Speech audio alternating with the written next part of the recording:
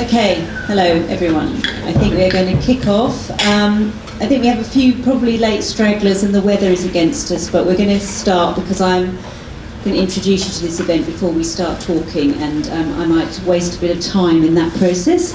Um, so, first of all, I just wanted to give an introduction. My name is, for those, I think everybody knows me here, but maybe some people don't. My name is Mel Dodd. I'm Programme Director of Spatial Practice at Central St Martin's and um, delighted to be hosting this as part of our Fundamentals series, um, The Way We Work. Um, so Fundamentals, for those who don't know, it's, uh, and I think that's probably our guests, is a series that we've run as, um, started last year, and it was uh, a series that we initiated in collaboration with Oliver Wainwright, Guardian architecture critic, and it was very much about looking at fundamental forces affecting cities, so sort of big questions, but also maybe quite pragmatic questions. Um, we started last year by looking outwards, interrogating the forces like land, planning and housing, and this year's series, of which this is the concluding um, event, looked the fo- we focused the spotlight back inwards onto um, the profession itself. So um, really trying to take a hard look in the mirror at the way we work. So that's um, where it sits. It's a concluding part of a series, and um, it's a, an event that lasts longer than just leaving debate as well. I just wanted to very quickly talk about two things. One, the motivation for this particular um, symposium and the guests that we've invited. Um, give you a very quick overview also of the structure of the next day and a half. So um, first of all, I think for me, and it's great to see a lot of my students here, um, it's as an educational program concerned with challenging, even disrupting conventional forms of practice, it, it seems important to provide a platform which really looks at the world of architectural practice as it is.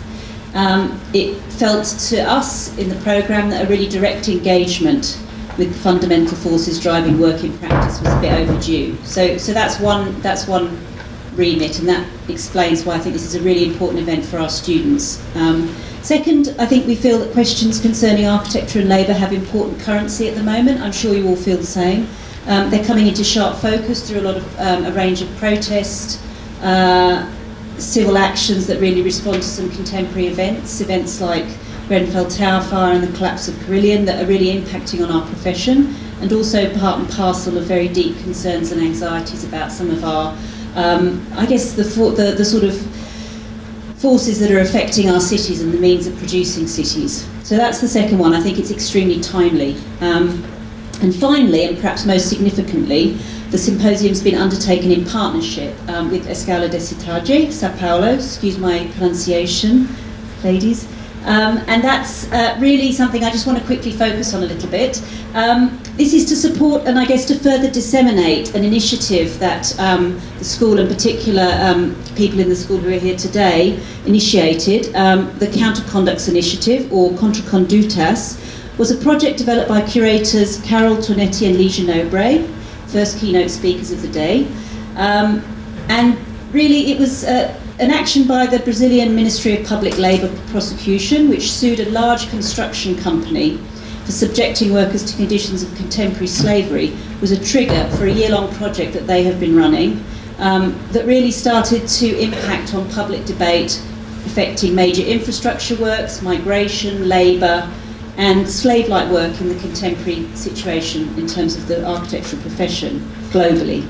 So their project culminated in um, an international symposium um, last year, and also an exhibition, and also a rather beautiful book, um, which uh, you'll see outside, and also um, later on. We're delighted to host the book launch in the UK for this book. So really the intention was to disseminate and further expand some of the questions that they were asking, to celebrate the important works that they commissioned as part of their project, and um, to build a, maybe a wider network and conversation um, and to hopefully keep, keep our partnership going. So we're really delighted to host the book launch. Everybody is welcome at the end of this session. We have free drinks. Um, and uh, I believe that the books are free issue.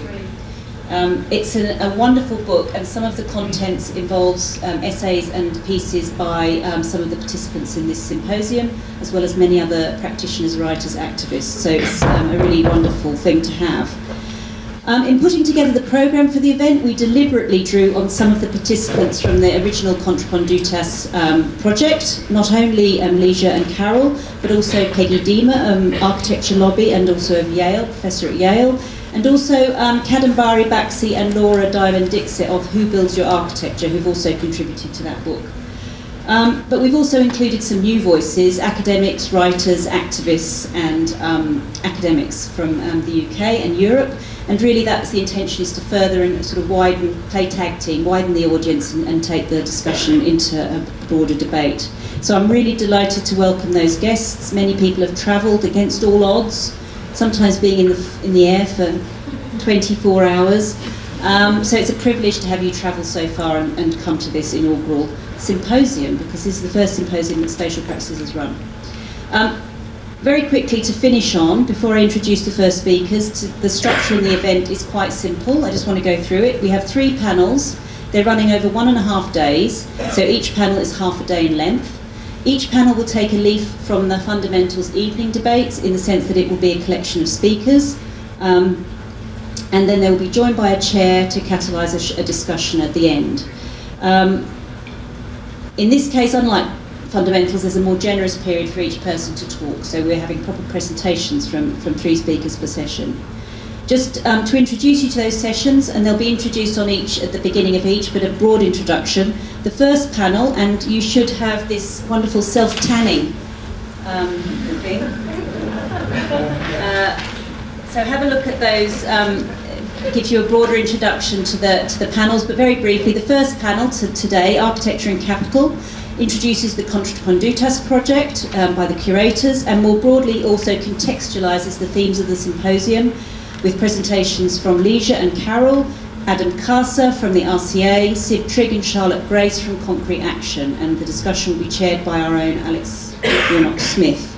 The second panel tomorrow morning, Architecture's Labour Force, starts to drill down into questions about the workforce involved in the construction of buildings and the city, with presentations from Kadambari Baxi and Lauren Diamond Dixit of Who Builds Your Architecture, Marsha Bradfield and Sophie Hope of the Precarious Workers Brigade, and our own Shumi Bose. And then the discussion there will be chaired by curator and writer Brendan Cormier.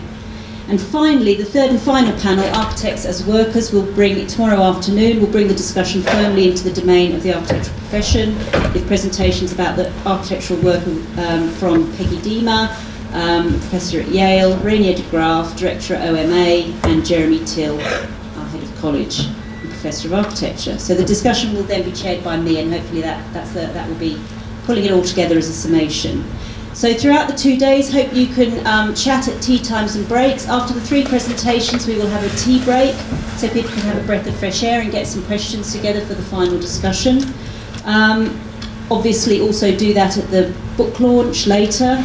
Um, to remind you, our audience is a lot of students and staff, so I think, um, as well as external guests and professionals, so I think it's great to, to think about this in terms of a student perspective of people moving out into the profession and some of the dilemmas and practical things that we can talk about to uh, not depress them about this topic. slightly worried that it might have a depressing tone. So let's. Uh, so, so I think it'd be really great if we could always try to end on an uplifting note of action. Um, and so without further ado, I'm going to introduce the first panel and the first speakers. Um, the format, uh, as I said, is that I'm going to introduce um, we'll have the presentations and I'll introduce each with a biography before they start and then we'll um, have a break before we start to talk about um, and uh, have a chair discussion by Alex. Um, the first uh, panel, Architecture and Capital. Um, I'll just read you um, the abstract. So architecture costs money, lots of money. The relationship between architecture and capital is fundamental yet fraught. As neoliberalising market fundamentalist agendas have taken hold of our contemporary cities, the steady commodification of our urban and social fabric extends into all aspects of our daily lives, and I know that students understand this as well, including the way we work. The ethical dimensions are of deep concern and revealed in the way in which labour is affected through privatisation, deregularisation, liberalisation. So the interrelationship between the neoliberal city, its means of production, and the labour it co-opts and implicates is the subject of the panel. Our first speakers, um, coming all the way from Sao Paulo, um, are Ligia Nobre and Anna Carolina Tonetti. Um, they are both um, working with Escola de Cidade, which is a, a school of architecture in the centre of Sao Paulo. Ligia Nobre holds a master's degree in history and theory from the Architectural Association and is a PhD candidate in aesthetics and art history at the University of Sao Paulo. She was adjunct curator of the 10th Sao Paulo Architecture Biennale and currently she teaches at Escola de Cidade and is a member of El Grupo Inteiro. Carol Tonetti is an architect and PhD candidate in design, space and culture at FAUSP.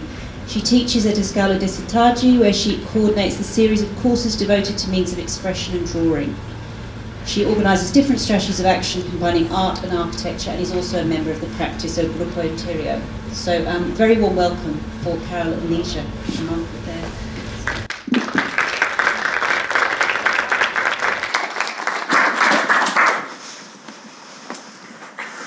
That's uh, improvising for start. Yeah, can you hear? Yeah? Yes, they can hear. Yeah. So really, really glad to be here. Thank you so much, Mel, Chauvin, the whole Central St. Martins. Um, we, we start together. Actually, going to start, then I, I do the second part. Yeah. Um, just to say, really happy indeed. We really looking forward for these two days, and we also want to thank all the people also in Sao Paulo. There were more like than 250 people directly involved in this project. It took two years, so it's a collective endeavor, of course, for this scale and we're really happy to be here. So we're going to present you some different perspectives. There are plenty, I mean, much more. No, it's a different. Yeah. It's, it's, a huge effort and a huge uh, uh, collective work we did. So I'll start uh, maybe uh, giving a context on the uh, how the the project arrived at the school. So. Um, during 2013, uh, Brazil was really optimistic. Uh, we had a like international uh, stage. The country was coming off as modern, progressive, and a regional leader. Uh, the year ended with an unemployment rate of 5.4%, the lowest level in history, as the Economist was also pointing that out, and the GDP was um, uh, presented a growth of 2.3%, and the World Cup and the Olympics promised improvements uh, in the nation's city with investments over $8 billion in a package of infrastructure, public facilities, and urban mobility projects. So this was for us uh, uh, the process of redemocratization seemed really consolidated. Um, but in June uh, 2013, however, uh, after the protests that began in São Paulo against a 20 cents uh, hike in bus fare, uh, these protests spread throughout the country uh, to several other cities, uh, driven by many grievances as the low quality of public services, corruption, um, police violence, and um, among many others. Uh, and this was a sign of these growth cycles collapse, uh, expressing all of its contradictions. So, regarding now Contracondutas, uh, meanwhile, in 2013, in the city of Petrolândia, which is this very small city in northeastern state of Pernambuco, uh, cars circulated through the city with loudspeakers announcing job opportunities in São Paulo. Uh, those interested would have to pay a fee to travel to São Paulo and to cover the costs of transportation and a month's uh, rent in a house. Uh, in return, they would have guaranteed jobs awaiting for them once they reached their destination. The work site was the Terminal 3 at Guarulhos Airport. Um, Guarulhos Airport, uh, so, uh, so that those are the main cities where the workers came, and that is São Paulo. And Guarulhos Airport serves the nation's biggest city, whose expanded metropolitan complex has 32 million residents and was just one of the many large scale projects at the time categorized under a differentiated hire, hiring regime. uh, a law which loosened regulations on building contractors uh, hired on public bids projects, expanding the already delicate dynamic of convergence between the state and the private companies. So this is São Paulo and uh, downtown, the distance between downtown São Paulo and uh, Guarulhos Airport. Um, so as soon as they arrived at the construction site in Guarulhos, the workers uh, who had come from Pernambuco were grouped with others. Um, from other parts of the country, subjected to a pre employment medical exam, and instructed to await contact from the, the, from the company. Some took lodging in uh, slums in the region, others gathered uh, in houses set up for workforce uh, recruiters. And the 38 men from Petrolândia ended up living in a unit with three bedrooms and just one bathroom. Uh, it had no furniture, no beds, and no mattresses. Um, so some of them slept on mats, others uh, had to sleep on the floor uh, over cardboards and bed sheets. And after a few days, only some of them were hired. Uh, and there were no plans for new job openings. So, since they were jobless and had no income, many had to beg for food in the neighborhood. Others went into debt. Uh, brought over by workforce recruiters uh, to serve 30 party contractors, which is a very common phenomenon in the construction industry. Uh, this uh, loosening of, of labor laws enables this, this sort of of third party contractors. And uh, these workers were just uh, taken in the ranks of reserve uh, with negotiated reductions in their salaries. Subcontracting makes oversight and accountability more difficult, resulting in dispersal of responsibilities in hiring. Uh, it starts with the values negotiated between the controlling developers and the subcontractors, having a domino effect, which makes it unviable for legal obligations to be kept. Uh, despite these difficulties, around two months later, the construction company responsible for the construct construction site of the Terminal 3 and the Public Ministry of Labor formed one of the biggest legal settlements related to slave labor in the history of Brazil. Uh, in which the construction company uh, consented to correct its conduct and pay a fine as a compensation of damage. Part of this history is depicted in the documentary Terminal 3, which has been exhibited uh, uh, just in one of the TVs outside. So, a total of 111 workers were rescued during this inspection. Uh, among them, six native Brazilian of the Pankararu people. And this operation involved guerrilla work uh, on the part of the construction workers union because they were not they were prohibited for entering the terminal 3 construction site and accusations um, and, and, of course it happens also because these different uh, subcontractors uh, they one of them uh, that there was a dispute between them and so this ended up as uh, helping to, to, to get to the case. It is also a consequence of a work developed in Brazil since 1995, when the federal government recognized the existence of slavery and the slave work in the country. So, according to public uh, data, 47,000 people have been rescued from slavery in Brazil in the last years. So, one of the first interventions of the Counterconducts project was precisely to demonstrate the dispute surrounding the definition of slavery work. So this is the law. Of course, it is in, in Portuguese, but um, it means that to reduce someone to conditions analogous to slavery, either by subjecting them to forced labor or exhaustive workdays, by subjecting them to degrading work, and this is when we start to see the marked uh, uh, part of the text.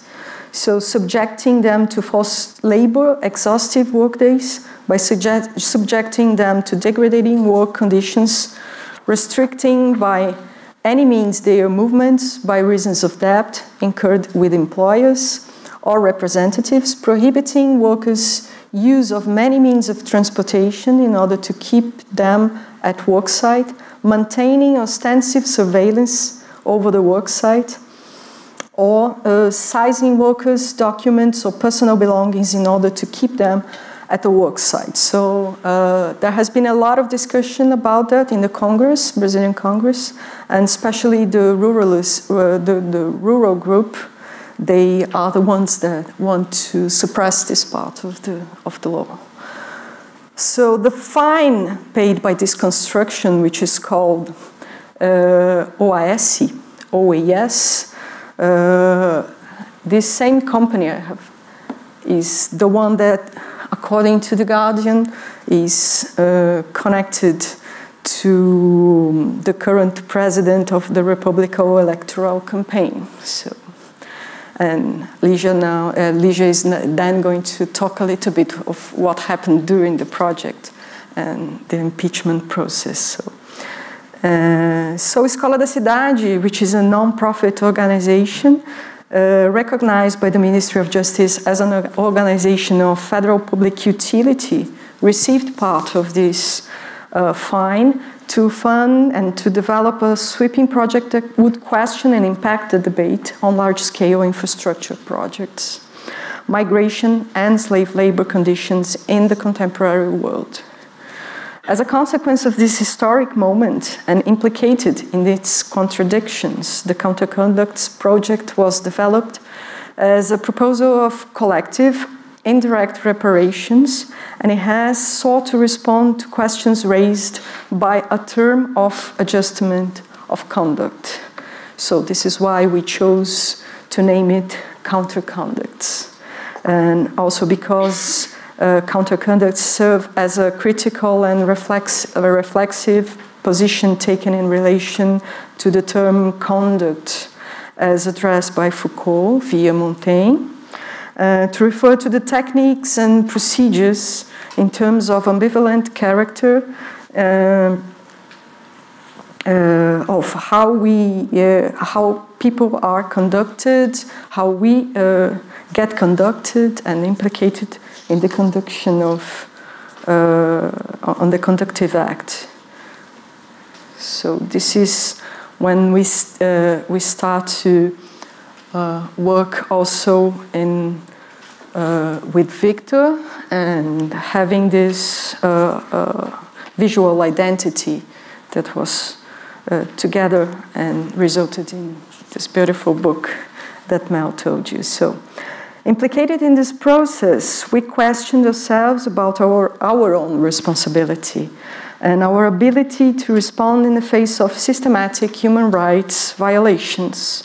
We questioned ourselves about the value of the funds designated to the project of indirect reparations, considering the value of the damage paid to the enslaved workers.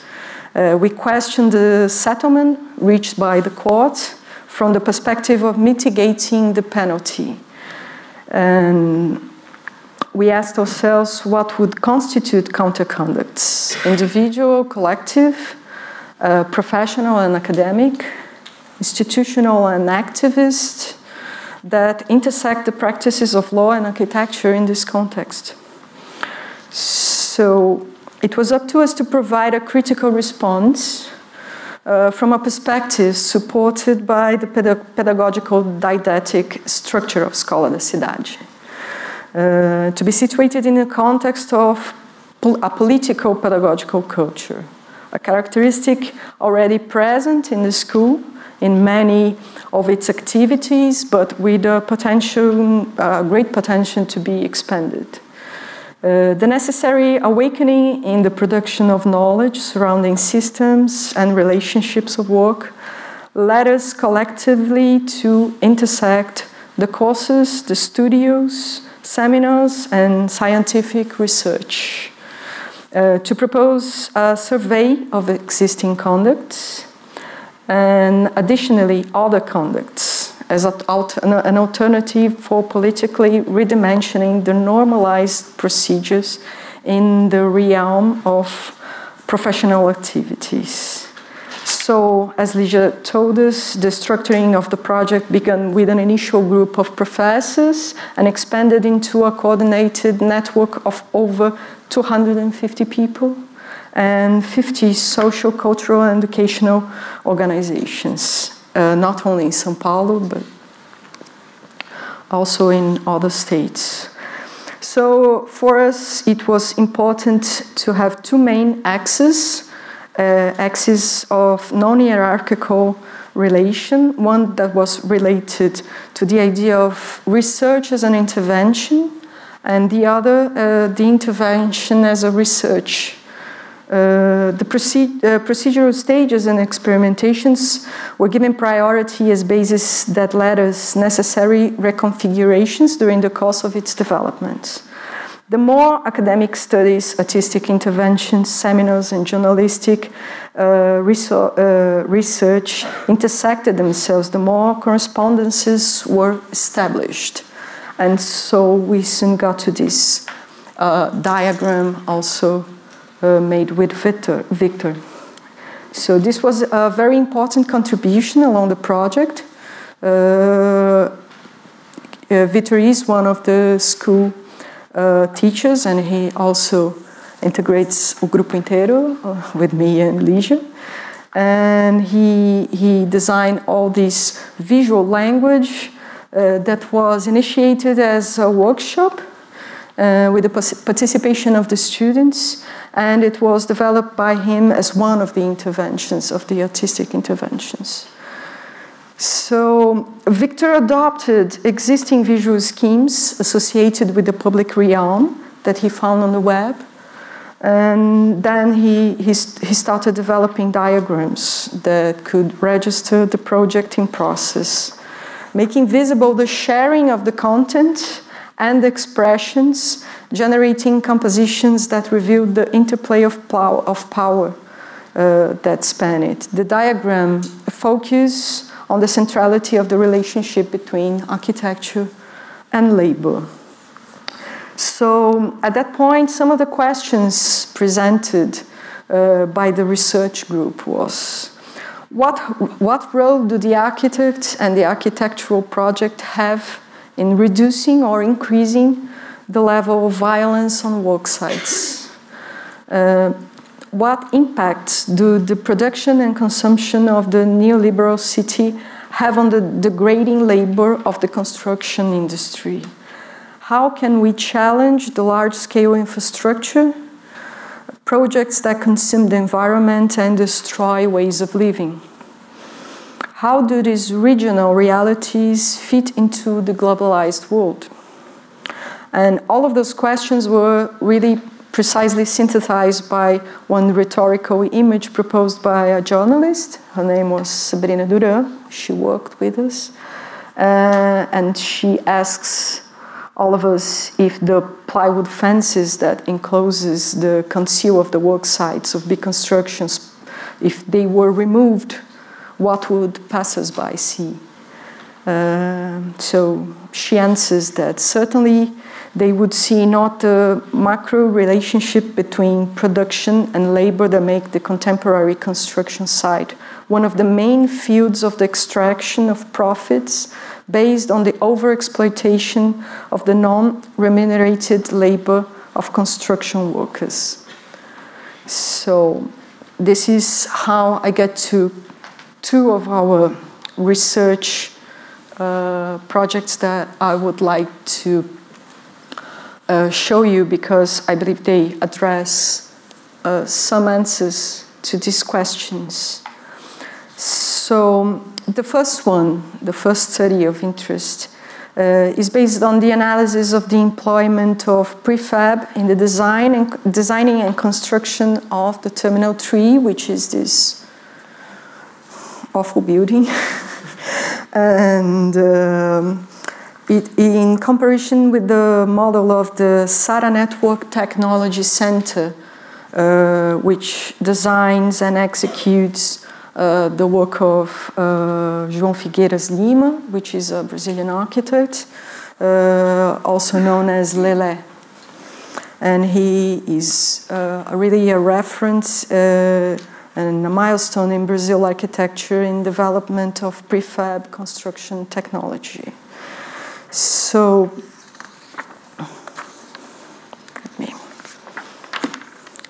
this research was coordinated by a professor, Analia Amorim, and students, and they analyzed these two projects, uh, seeking to underline the contradictions that show a planned strategy to disrupt the construction process with the objective of, expand, of expanding profit and corruption. Uh, she, she starts by remember, remembering us of uh, one elementary and perhaps too obvious uh, matter. The budget for architectural project corresponds to an average of 1% of the total value of the construction. And it's only through the executive project, uh, in all of its complexity, uh, that materials are uh, specified, uh, the responsibilities assumed, the construction planned, uh, and, this, uh, and the operations of the work fronts can be foreseen, and the final costs can be assumed. When considering a public work, the executive project is an essential piece in any conscious act of transformation, guaranteeing transparency in uh, the management of resources. With innumerable social ramifications, the project is the first element to be attacked by outside interests. Negotiators and lobbyists from the building material industry thus undermining its technical and ethical coherence. So, according to Analia, the timing of public projects in relation to politicians' terms and re election has led us to adopt a different logic in the execution of works. Uh, one based on urgency uh, where the buildings uh, are, uh, started to be constructed before the conclusion of their complete projects. And often enough, this political urgency demands that the project be completed before there has been an adequate amount of time for proper study.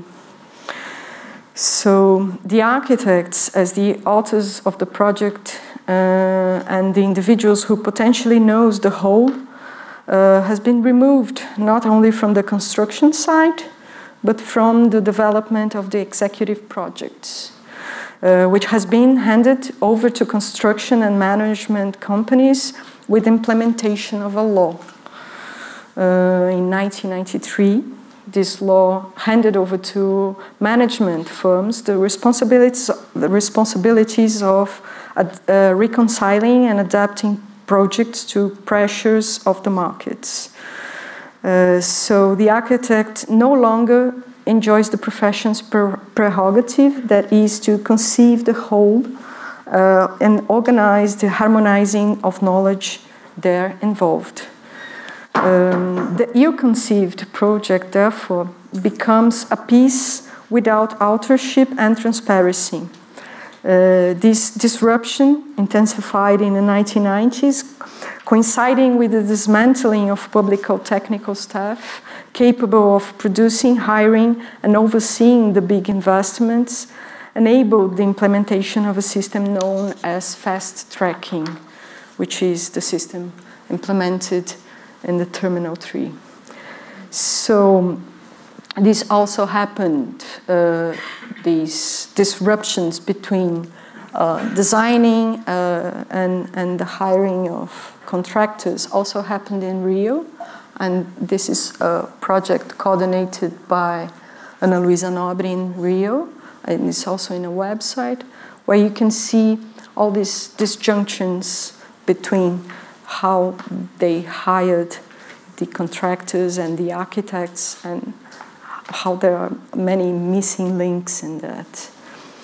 So, for the expansion of the Terminal 3, uh, there was a previously, uh, previously there was a project which was uh, shelved in 2011. The justification being the urgency of the approaching 2014 World Cup. A number of uh, projects were submitted to a similar process in Rio, which I, I showed you the, the graphics. So the developer, the, in the case of the Terminal 3, that was this uh, OAS uh, construct, uh, contractor, took the responsibility of hiring the staff, including those on the project. The reduced timeline inverted the sequence between planning and ex execution. The compatibility process took just three months. Uh, while the foundations has already been laid, uh, there was no there was not a full uh, project design. So the necessary prefab, uh, prefabrication to correspond with the pace of the construction did not generate uniformity because it, you need at least uh, 100 repetitions to justify the cost um, of the molds. So the hiring of several suppliers result in complex details and connections that will be difficult to maintain in the future. Uh, the firms, the consulting firms, were deployed to remedy the problems rather than avoiding them. The selection of materials was determined by pressures from the marketing, from the, from the market. Uh, so there was a lot of construction flaws. The number of drawings generated was uh, like 6,000 drawings, presentation boards uh, which lead us to deduce the conditions of works and pressure on the architects working in such a hurry. Uh, and of course, there was the project, there was a lack of global vision planned. Uh, it was a chaos. Uh, in contrast, the Sarah, the hospital, the architect was responsible for the entire of its execution he was the technical coordinator and the one responsible for the factory of components which he created and assembled. The conception, production, and, as and assembly of the prefab elements were constantly verified and adjusted, adjusted according to necessary conditions of compa compatibility.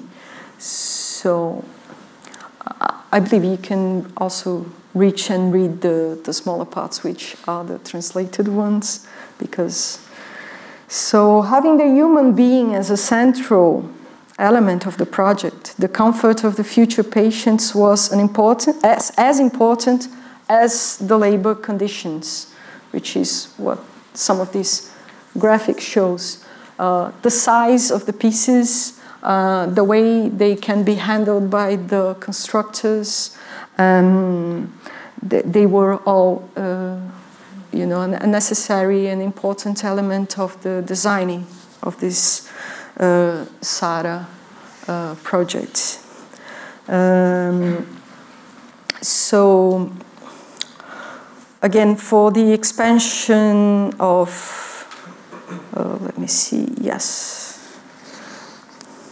So the workers at Sarah Hospital participated in a system of labor in which they, the, their tasks were defined and the projects were specified by drawings, perspectives, prototypes, and models. And while there was a hierarchy, the contribution was shared and the work was moderated with breaks for rest. Many details were adjusted on the construction sites and then returning to the factory for redesign. The factory workers received training in all sectors, making them full-fledged uh, construction workers. Uh, meanwhile, in the OAS construction site, qualified workers were assimilated as carriers of bags of cement, sand, and rubble, uh, acquiring an array of construction experience, experience that invested little or nothing at all in their training as part of a qualified workforce and around 8 million Brazilians, which is around 10% of the nation's workforce, are construction workers who are mostly functionally illiterate and obliged to migrate around the country in search for employment. Um, so the objective of, a, of capital is productivity and a return on investment and not education and health of the workforce. So this is like a typical uh, construction site uh, in Brazil and the conditions uh, in which the workers uh, do their, their work. Uh, so this availability exists precisely due to the forces of capital which operate in a manner that does not guarantee full employment. So, another uh, very important example uh, to bring you today uh, uh is uh, to confronting the relationships. To, to, to confront the relationships between labor and construction industry are the self-managed collective task forces, which we called Mutirão. They began in Sao Paulo in the 1980s, and they represent. Uh, they were represented in a counterconducts project by the writings of Icaro Lira, which is in our book, and the participation of uh, Bia Toni and Cristiane Gomes in the international seminar held in Sao Paulo around a year ago when Mel was with us. So the, the grassroots movements fighting for housing in Sao Paulo are highly organized and possess a clear political aware of the fact that the production of the urban space perpetuates poverty by relegating laborers to the more precarious areas of the outer city limits, limits of metropolises in the face of super speculation of the price of land. The socially produced urban infrastructure is not guaranteed to them. So these are some uh, Google uh, Street View pictures of uh, a neighborhood in São Paulo where you can see uh, different types of uh, housing. Um,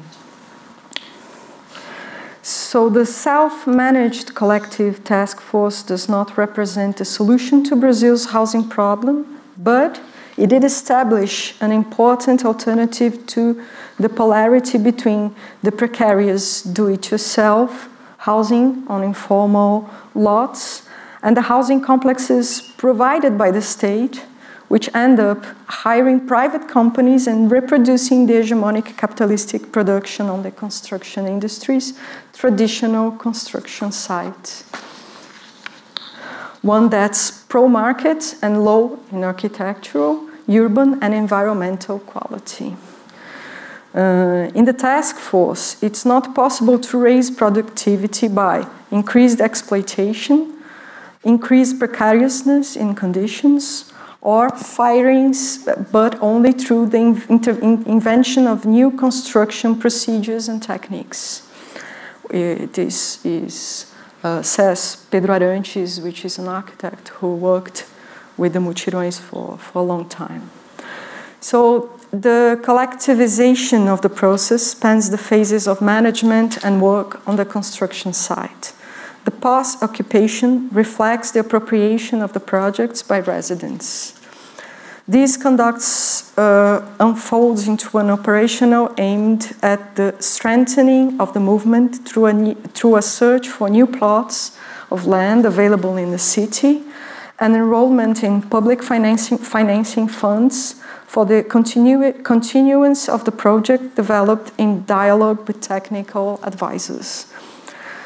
The technical advisors that develop the architectural projects and accompany their constructions are part of a chain in which the drawing is an instrument for reconnecting with the production at the worksite. This has always been a condition of the projects created by Usina, one of these technical advisors, uh, one of the pioneering technical advisors of labor done with collective task forces. According to Mario Braga, which is one of its founders, the drawing should not be concerned with what will be made, but how it will be made. Util util utilizing constructional systems that are adapted to a reality that is less exhaustive and dangerous for the workers. So. Uh, in, in the collective task forces, around 70% of the workforce is female. The concrete blocks commonly used as, uh, are extremely heavy, even for men. So the selection of materials are informed by the reality of people working on the project. One example of this uh, rationale is Copromo, a Copromo complex uh, which was built during the 90s, in which the installation of metallical staircases as the first stage of the construction enabled a safe transportation of material by workers, as well as serving as a vertical ruler to guide the fitting of each roll of brickwork. Um, the preeminence of women is notable. An especially strong space for empowerment is configured there. Based on this uh, women's adoption of all the aspects of production, which overlaps with struggles for autonomy in terms of gender oppression, and the discussion of the sexual division labor. In the face of the hegemonical production of the construction industry dominated by the male workforce, the presence of women in the communal task forces also represents a transformation in the lives of uh, many families. So, through this analysis, it's clear uh, how this sort of experience has been attacked by the capitalist construction system uh, both show us the challenges and the possibilities of intervention in the construction sites, in working conditions, informing the importance of architecture as a political technology. Uh, this term, the political technology, was brought to the project by Felicity Scott's lecture in São Paulo last year. And it deals with architecture's ambivalent relations between control and care, um, on one side, paying attention to social, environmental, and cultural matters, on the other, being absorbed by these opaque layers of the power and the capital. Uh, so, to close, after Lelé's, uh, the architect of the Sarah Hospital, after his death four years ago, the factory uh, pace slowed down eventually just handling the maintenance, the maintenance work on the buildings uh, it manufactured. Uh, a, committed, a commitment that should apply to all public works. Capable, he was capable of designing, producing, and constructing any type of building of, of or urban appliance. But from 2002 on, he was forced to limit the scope of its work to do the pressure from other developers. Meanwhile, the budget for low income housing in 2018, which impacts self managed popular movements, was submitted to Congress to be voted on uh, with designated resources equal to zero. So uh, the movement is completely stopped since uh, last year. So this is just a start showing you two of our researchers and Ligia will continue. Thank you.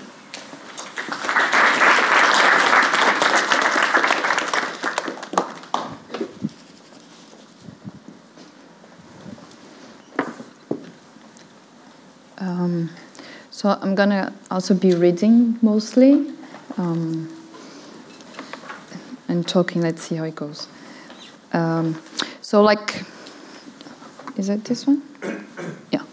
So like um, this whole process, I mean, Brazil has changed totally in the last five years or more, uh, but uh, especially within this process of uh, counterconduct, so the process itself of the, if in 2013 we had this 111 workers found as with slave labor forces and the whole process of the prosecution of the construction company this was 2013, like Carol brought up. It was like the booming moment. Then we had our June Street crisis, and then we had our, our main um, global sport events, the World Cup in 2014. That's why the, the airport was being uh, extended to receive all, everyone from the planet. Uh, what changed entirely when uh, we started the project in 2016 was a totally different country. I mean, uh, and actually, during the process of this one year and a half of the research project that we were developing and building up, the country was changing. This was in April um, 2016 when we, we just had our female president re-elected, Dilma. Uh, she was elected in October, November 2015, took in January, and in April we started an, an impeachment pro process that ended up in August, just like the same moment of the our Olympic Games. Uh, so we had already like the new president, president, and it was really like a coup. I mean, it was a serious process. As you see, all male, white, conservative, heterosexual. Uh, I mean, everything that was there uh, just emerged. All these different forces um, building up. And, uh, and from that on, I mean, uh, with the new, the vice president took over, and uh, what started to happen was all the dismantling of very important um, uh, democratic uh, uh, processes that in the last 30 years the society was uh, really building up in regards to work, to rights, and and this is still going on. So the, we ended up the project in uh, December 2017, and this was just taking place, and it's still going on, really being dis dismantling all this process. So within con this context, how do we take our positions, isn't it? So for us, the counter counterconduct was a means, I mean, in a really humble way, with our uh, possibilities from the School of Architecture and with all these partnerships that Carol was bringing to how do we stand. It was really like taking a position. So when you do, so for, for every position is fatally relative to what we assume we are challenging and what we are embracing, as well as that which we reject. So what do we choose? How do we position ourselves? So in that sense, and it's always in a movement. So in that sense, how do we deal with all these temporalities and specialities that are taking place locally and globally, I mean, in a micro level and a macro? Uh, especially within the context of Counterconduct's project, we were really crossing two temporalities and two specialities. The temporality of slavery, Brazil is uh, uh, one of the main colonies uh, in the last 500 years that had the, the highest amount of uh, slave labor process.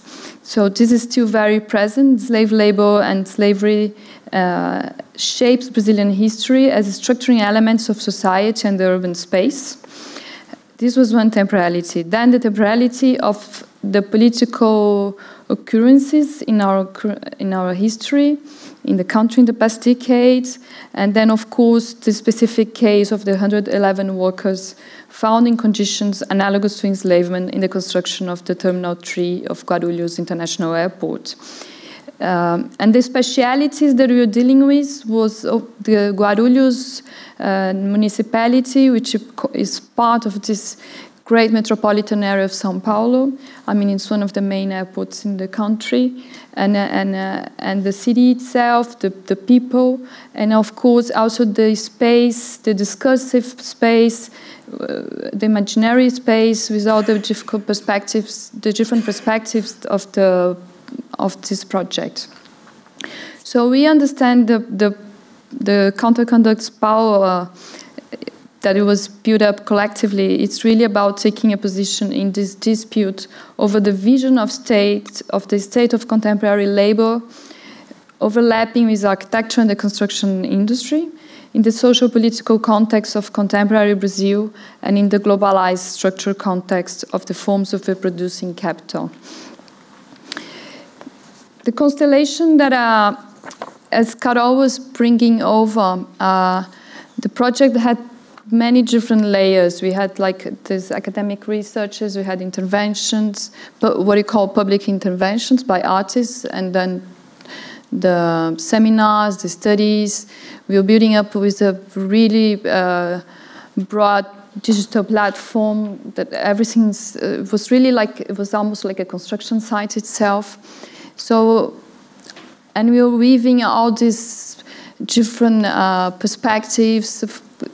And the academic researchers, like Carol was presenting, they were dealing with big issues. And we also had six uh, public interventions, as we called, and public interventions as research, as Carol brought up, that uh, were actually, um, we invited some of them, and some of them came from an open call. Okay, so I stay here. Uh, and this was really important for us to mostly working with artists or group or collectives uh, from architecture, but also from artistic, different artistic practices. And that helped us to look at different ways of how to deal with the work, with architecture and labor, how to deal with those uh, tough issues. And coming from the School of Architecture, where the students are not that close to the workers or, or the way the drawings, the way the, the it's uh, the teaching process it doesn't really address directly without with few exceptions like the way Carol was bringing.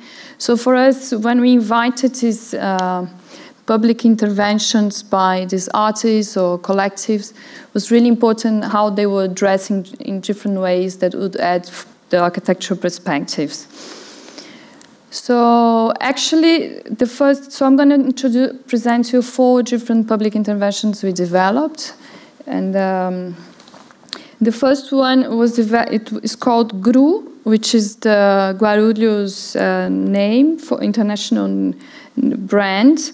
Then 111, which is the number of workers that were found in this workforce labor condition. And then they call it counter cartographies. And it's really dealing with invisibilities and visibilities, uh, focusing on the airport itself as an apparatus um, that's ruling our lives in many different ways.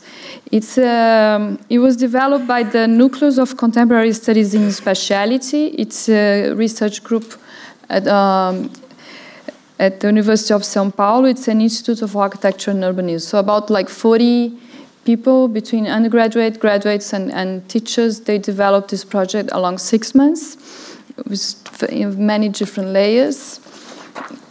But uh, mainly, they, they focused on the Guarulhos airport as this apparatus that functions through a strategic produ production of visibilities and invisibilities. The concept of apparatus or dispositif that you'd say in French or in Portuguese is in the sense proposed by the philosopher Giorgio Agamben from uh, Michel Foucault. NEC, which is the name of the group, uh, they took a dual approach. On one hand, they observed the behind the scenes workings of the construction of Terminal 3 of the airport and really pointing out the construction sector in Brazil is in a larger economic, political, and legal system. Drawing on to this end a diagrammatical tactic and on the other hand, they investigated the airport as a device of what they call desubjectification, regulation and the control of bodies with a phenomenological approach. So that's the Guarulhos airport. And uh, I mean, I'm afraid it's not really good quality, sorry for that. But uh, those are all the houses where the workers were, uh, the 111 workers were spread out. It's really close, and it's also close to the Ministry of Public, uh, the public ministry, uh, and, and it, then it goes to São Paulo. I mean, that's the main, to, to the municipality of São Paulo. So it's really uh, it's showing the, the, the proximities and the, and the distances. And um, so the, the study was developed by way of counter-cartographies, as understood by the coordinators, acting through unveilings, metaphors, and connections, constructed out of narratives, montages, and diagrams. So, if you approach the airport as an apparatus of surveillance or the production of visibilities and invisibilities, with the singularities of the specific case of the Air Guarulhos airport, we also recognize this is an intrinsic modus operandi of airports um, on a global scale as an equipment. We should highlight that the in the diagrams produced by NEC, the unveiling of an entire control that makes itself invisible of an economic, political, legal system. They developed a series of diagrams and maps that are really important uh, for us to unveil all these uh, games and political issues that we were discussing. So they demonstrate actually the rates of occurrence slave laborers in the construction industry from 2009 to 2016. And they are mostly located on large scale works of public infrastructure in urban areas with higher concentrations of wealth in the country. Guarulhos Airport in São Paulo is one of the Brazil's main airports with the highest circulation in the whole Latin America. So, two years before the start of the 2014 World Cup, it was privatized uh, based on a 20 years concession to a uh, consortium group, receiving this new name and new brand as a sign of modernization of Brazil's infrastructure and part of a larger strategy of international positioning. So, in these diagrams, NEC presents the new shareholding configuration with the state, the public uh, company called Infraero, the for, that manages all the airports.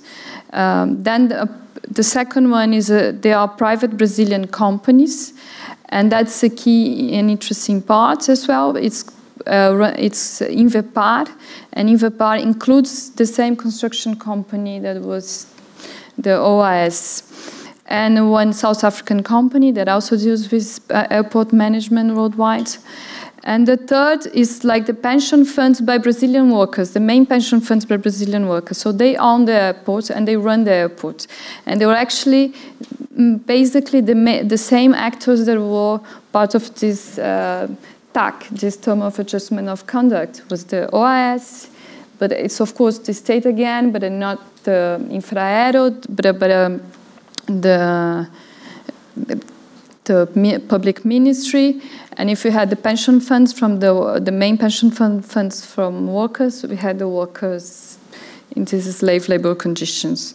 So, I mean, uh, so they they they show all this. Um, I mean, the, the the sharing holding positions, and then uh, and uh, what's interesting also, what's very important to that to call attention in this situation, besides the actors being basically the same in both situations, what's visible and invisible, is uh, that they really um, present the systemic relationship between building contractors and the state.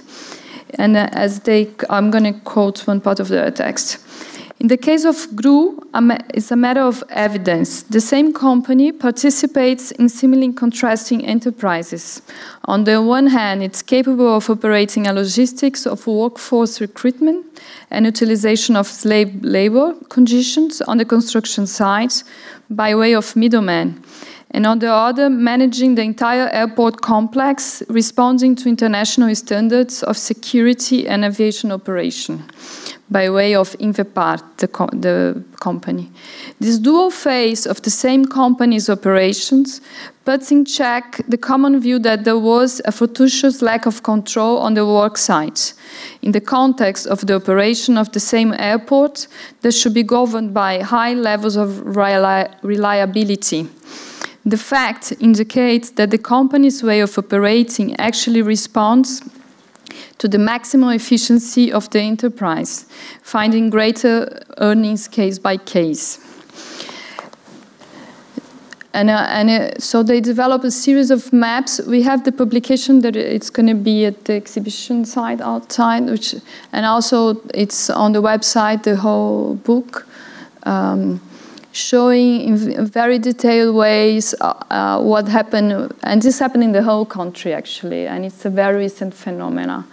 And, uh, and I think it's an ambiguity we're dealing with not only Brazil, but uh, many other lo situations, locations, and how do we position ourselves within that and the different actors. Uh, and then what's the role of the state, the company, how do we, uh, how to deal with that. So those are all the, the from 2009 to 2016. Uh, if you look at uh, the, all the, these major infrastructures, from habitations to infrastructure, education, culture, and services and commerce, big, the main uh, public and private uh, institutions, they all have had uh, slavery conditions in the working sites. Um, so they, we, we, they were able to map out and to show and give visibility to this. And most of them were from the government, uh, government infrastructure projects. And uh, another important uh, process that was mapped out was about, as Carol was also mentioning, was about the slave labor um, understanding. It's very recent. And then all the dismantling that's going on uh, and, uh, and the fights about the discursive level and actually the practical, I mean, because is within the Congress.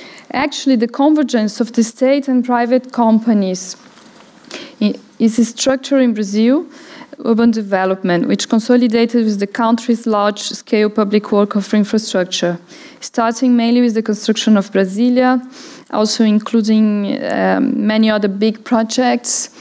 Uh, we'll talk about Minha Casa Minha Vida, uh, really huge hydroelectric dams, and, um, and they all with this impetus for modernization and developmentalists through the intensification of, in the exploitation of the workforce and the dilapidation of nature.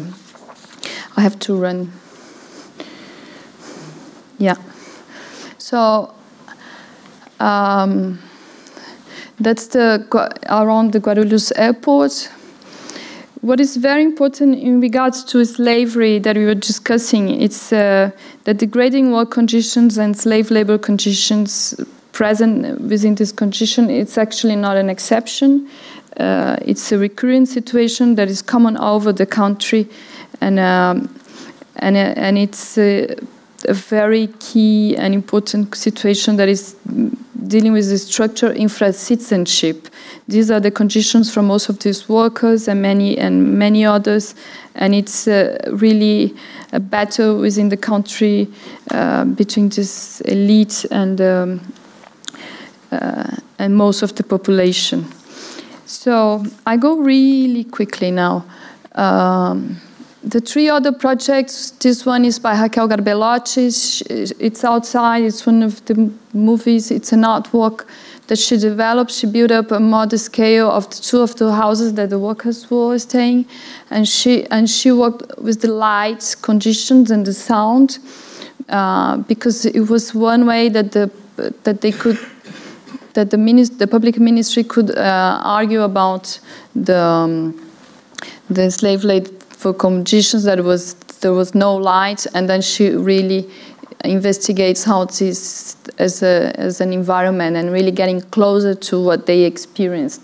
So what was really important is about the experience of this. Uh, of the workers in many different ways. Another artist, Vânia Medeiros, she worked with uh, seven construction workers, not directly that was the, the ones on the site, but uh, that she invited to work with them for them to draw uh, about their own work conditions.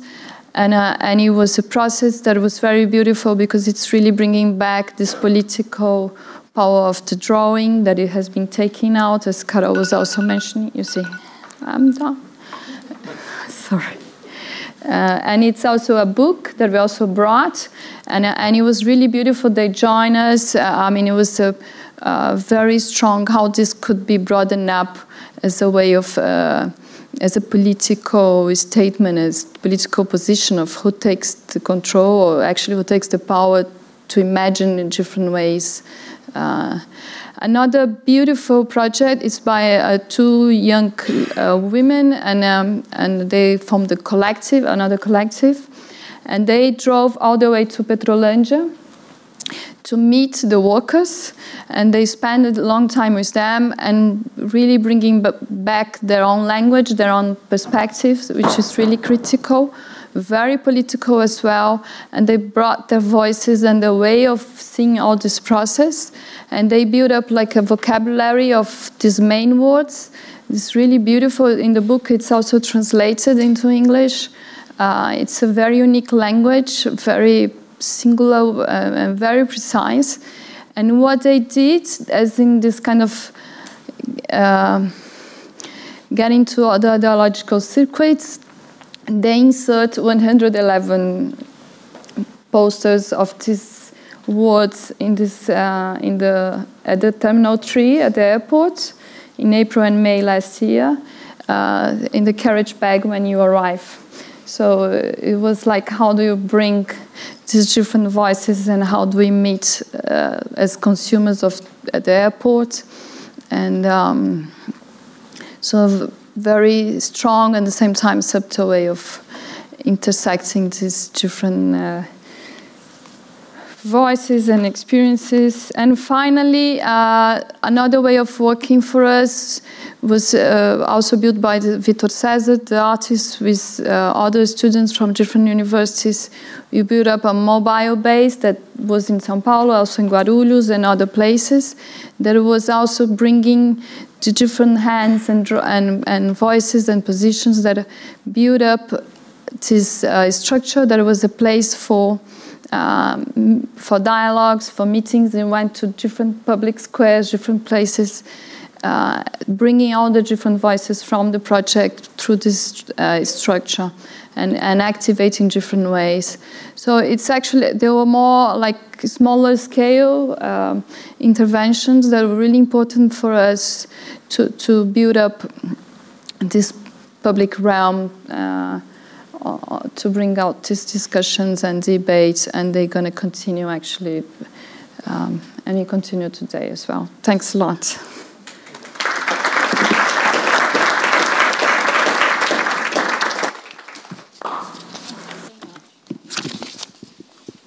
Thank you so much, um, Carol and Ligia. Uh, I'm just going to introduce, we've now um, got two shorter talks paired together, um, and I'll introduce each as we go. Um, and then we'll have a break and come back and ask questions afterwards. It's a really sort of intense journey to Brazil. So uh, that was amazing. And um, our next speaker is Adam Kaasa. Adam's projects consider the cultures and politics of the city, foregrounding inequalities and the role of history, architecture, and design. He co founded and directed Theatrum Mundi, uh, an international research centre on urban culture, and is currently a senior tutor in architecture at the Royal College of Art. And his current project examines the history of the tabula rasa in urban planning and pedagogy and theorises cohabitation as an alternative design ethic. So, welcome to Adam.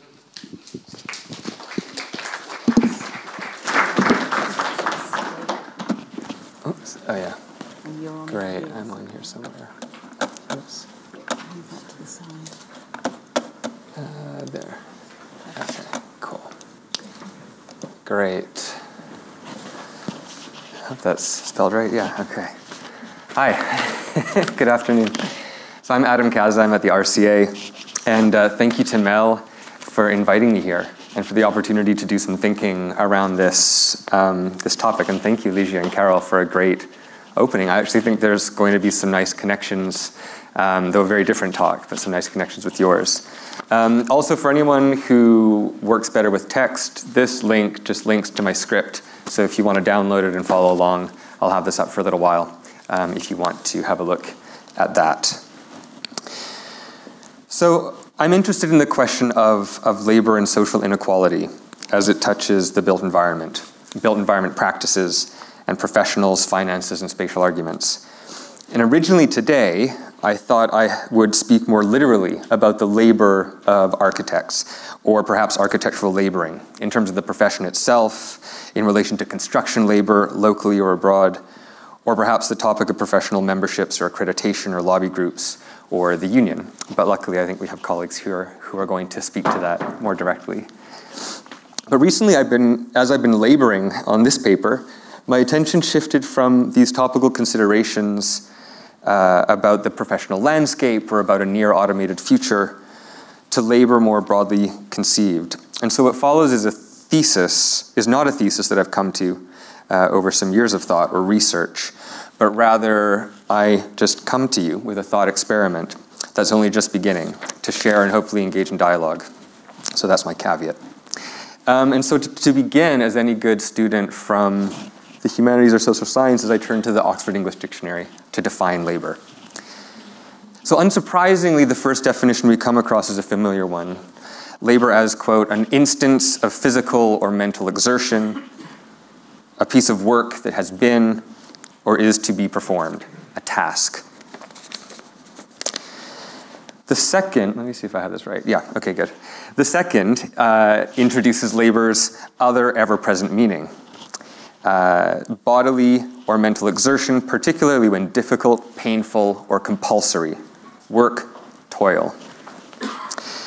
Here is not a definition of labor's benevolence, of its Protestant sainthood, nor its enduring normative claim, repeated by any number of mostly male scholars repositioning craft, or in one well known scholar's of craft's words, quote, an enduring basic human impulse, the desire to do a job well for its own sake but rather labor as difficult, painful, compulsory. Or as the third definition from the OED, now obsolete in use, quotes hardship, suffering, pain, distress. It's no surprise then that etymologically it entered into language in the English language through the Anglo Norman and Old French in the first half of the 12th century as trouble, affliction, misfortune. Later, as hard work, burden, or task, and only in the early 15th century, aligned with the body of an unskilled worker as a laborer. And so, therein, in the development of the use of the word, the embedded history of it as suffering, pain, and distress, later embodied in the worker, agricultural at first, and later industrial in certain geographically bound histories, like this country. It's in the 19th century that the word is first becomes used to express a collective. As workers considered collectively, especially as a social group or political force. In the UK, acts like the Combinations uh, Act of 1799 or 1800, 1824, and 1825 made it illegal for combinations, that is, literally people combining together to combine forces, to press for wage increase, uh, uh, wage increases or to change work, working hours. This wasn't decriminalized in this country until 1867 and only legalized with the Trade Union Act of 1871. And here's some text from the, early, uh, the earliest act. Every workman who shall at any time after the passing of this act enter into any combination to obtain an advance of wages or to lessen or alter the hours or duration of the time of working, or to decrease the quantity of work, shall, uh, well, there's a lot more text here, but shall be committed and, to, and confined into the common jail. And it goes on. For the more effectual suppression of all combinations amongst journeymen, workmen, and other persons employed in any manufacture, trade, or business. Be it further enacted that all and every person and person whomsoever, whether employed in any such manufacture, trade, business, or not, who shall attend any meeting held or held for the purpose of making or entering into any contract, covenant, or agreement by this act declared to be illegal, or of entering into, supporting, maintaining, continuing, or carrying on any combination for the purpose by this act declared to be illegal, or, and it goes on and on and on and on and on and on and on, shall be put into a house of correction or go to jail. I started to read this in full because I think it's important to remember the relationship between law and labor, something that I think comes out really nicely in our earlier presentation, and the very real relationship between the construction of labor through recourse to acts of criminalization. For example, criminalizing trespass in the commons or criminalizing, criminalizing combination or collective, bargain, collective bargaining. So, just to bring us through where we're at so far, or where I'm at so far, and maybe you're with me, labor's etymology is trouble, affliction, misfortune, hardship, suffering, pain, and distress. Labor as a term for task comes later, as an embodied identity even later, and as a political collective later still. And in this last iteration of the term, in this country, there's a long history of law specifically written to prevent workers from combining to relieve this hardship, pain, or distress of their conditions. And there's a history of criminalization in the construction of the laboring subject. Okay. So now with this in mind, and bear with me, I move to a next part of the task of the talk, and it might seem like a leap, but hopefully we'll come around at the end. One of the pleasures of teaching is being taught by your students. And at the RCA, I lead a new Master's in Research program uh, that's a 12 month program, like many here in the UK. And right now, the students are working on their group project. A group project that has a small brief, but then is meant for them to be self initiated, self defined, and self directed. The brief was called After the Creative City and situates itself in the continuing dialogue about the instrumentation of culture for urban regeneration projects. The site that they've chosen to look at is in Haringey in North London, and specifically a juxtaposition of two sites. A controversial and long standstill of the Seven Sisters or Ward's Corner Regeneration Project on the one hand, and a new pilot study for a new creative enterprise zone, a new policy coming out of the mayor's office around Tottenham these two sites are less than 500 meters away. One works to draw creative or cultural industry or labor to the area, the creative enterprise zone. The other is at a standstill because at the heart of the redevelopment would, that would see new private homes constructed is the removal and temporary relocation of the largely Latin American, but also home to traders of over 21 nationalities, market. One would see the promotion of a certain kind of culture, and the other would result in the erasure of another kind. What was most fascinating to me when the students were presenting early work was the prospect of the market's closure, was that the prospect of the market's closure prompted a report from the United Nations uh, in the Human Rights Department. And a collection of special experts uh, studied the area and started the contestation and argued that the gentrification of this area represents a threat to cultural life. And they go on. If granted, the compulsory purchase order under review would result in the expulsion of current residents and shop owners from the place where they live and earn their livelihoods, and would have a deleterious impact on the dynamic cultural life of the diverse people in the area. The regeneration project, this is still their words, would force their activities to stop or relocate this has a disproportionate impact on people belonging to minorities and their right to equal participation in economic, social, and cultural life. We're concerned that despite the continuous engagement of the civil society coalition around the site, no suitable alternative to expulsion and the destruction of the market has been identified or meaningfully discussed with the affected people. In addition to the duty of the state to protect individuals from violations of their human rights by third parties, all business enterprises have an independent responsibility to respect all internationally recognized human rights and address adverse human rights impacts. End quote. So, if we are to take the UN human rights experts report as evidence, that there's a suggestion that the regeneration of Seven Sisters will have a dis disproportionate impact on people belonging to minorities and their right to equal participation in economic, social, and cultural life. Then I wondered the, the, the next thought. And of course, it's entirely hypothetical in nature. If an ethnic minority group has the prospect of being disproportionately affected in a negative way, and if this information is now public through a UN report, and if the developers of this site, Grainger PLC in this case, move ahead with the development in any case, might there be a claim to accuse them of a hate crime? So we need to know something about hate crime legislation in the UK to go any further, and perhaps specifically about England and Wales, because it differs in Scotland and in Northern Ireland.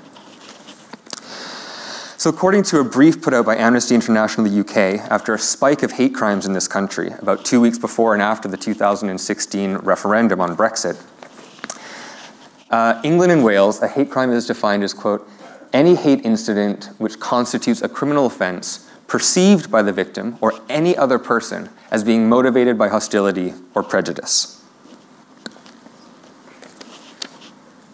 Hate crime legislation in the UK, or sorry, in England and Wales, has a timeline that begins with the Public Order Act in 1986 that created 17 new offenses for stirring up racial hatred through threatening or abusive words, behaviors, or written materials. Later, provisions in this were added in 2006, uh, sorry, for religious identity in 2006 and sexual orientation in 2008. There was the Crime and Disorder Act in 1998, which uh, added, um, well, you can read it here, but I'll say it, which created offenses for racially ag- aggravated assault, criminal damage, and public order harassment. So the first was for stirring up racial hate. This is for actually aggravated actions. And later, in the Anti Terrorism, Crime and Security Act of 2001, religious aggravated assaults were added. And finally, the other set of laws that pertain to hate crime in this country is the Criminal Justice Act of 2003, where in Section 145, racial aggravation was applicable to all offenses in, in criminal law. And in Section 146, it allowed for sentencing enhancement provision for any aggravated hostility towards sexual orientation or disability. And lastly, in 2012, so very recently, under the Legal Aid Sentencing and Punishment of Offenders Act, the same legal provision was added and extended to transgender identity. So we have a, a, long history over the last four decades or five decades from racial incitement of hatred to aggravated offenses, still with racial and, um, and religious, and later uh, sexual orientation, disability, and transgender identity. And these are the five monitored strands of identity, and identity is important to hold on to here, that are used to identify hate crime in England and Wales race, religion, gender identity, sexuality, and disability. To give a sense of scale, in 2015 to 16, some 62,518 cases of hate crime were officially reported in England and Wales. A separate crime survey of England, which isn't the official police statistics, put that up at around 220,000. So a huge underreporting, which isn't, which isn't surprising. According to the most recent report from the Home Office, in 2016 17, that rose by 29%, the largest rise on record since uh, recordings began in 2011 and 12, to over 80,000. And this they attributed to, quote, a genuine rise in hate crime around the time of the EU referendum, and also due to ongoing improvements of recording by police, so trying to get at that underreporting. But further down in the Home Office's report was the following that hate crime policy and legislation takes a, quote, human rights approach that covers majority as well as minority groups. So let's remember here back to the intervention in our site in Haringey by the UN human rights experts. And next they go on to write that, do I have this here? No, okay. Next they go on to write that, quote, an offense may be motivated by hatred towards a characteristic that is not centrally monitored. So it doesn't need to be one of these five monitored conditions. Um, that could be part of this, uh, this, this hate crime. So they include, well, it could be about age, or it could be about uh, any number of other characteristics. The five monitored are the main ones, but the Home Office suggests there's space for interpretation. And actually, if you go back to the Amnesty International briefing, in England and Wales, it's down to the police. So in that report, the police forces are permitted to record other forms of targeted hostility as hate crime, in addition to the five monitored strands. So, for example, in England and Wales, police have started to include categories like alternative subcultures that aren't captured by any of those five, uh, misogyny, and sex workers. Okay. So, so far, so good. So, now with hate crime legislation, it's uh, the longest standing identitarian category is based on race and ethnicity. The Home Office policy and legislation of hate crimes takes a human rights approach. And police in England and Wales are free to identify other forms of targeted hostility. And here we might want to think, in addition to ethnicity, what about hostility towards tenancy, towards perceived rental value, aesthetic stigma, or perhaps class?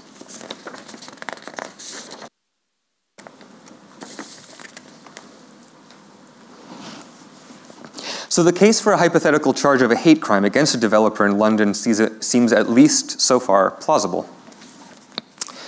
So I return to my original question. Is gentrification, then, in a broad sense, insofar as the 60 years of scholarship overwhelmingly underscores its adverse social, economic, and cultural effects on race, gendered, queer, and class bodies in cities, a hate crime? There are a number of elements to consider this question, but I want to focus on two. First, we need to know what a crime is. So, in the definition of hate crime, crime here defi is defined by assault with injury, assault without injury, harassment, public fear, alarm, or distress, or other criminal damage. This is mostly related to property, dwellings, buildings, and vehicles. And in that case of property, the property owner. So, where is the crime in closing a market? How do we start to think about economic violence as crime? Is it possible to do so when the buying and selling of property and the setting of rental prices are not criminal? Second, in criminal law, there's a victim, usually, and a perpetrator, usually. Here, and especially in hate crime legislation, uh, uh, in our hypothetical, the victim might be a collective, a group, self identified. And, and that's not out of the question given the history of class action lawsuits. But defining the victim becomes harder and harder. Is it the 55% of Latin American or Hispanic business owners of the market? Does it include the other 21 nationalities of traders in the market? Does it include those impacted by the economic, social, and cultural support structures the market hosts? Where does its impact end? Who's a victim of closing the market?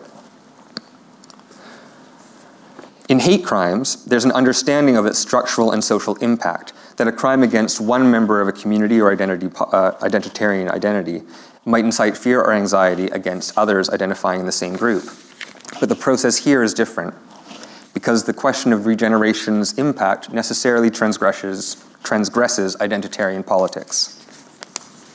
Second, who's the perpetrator?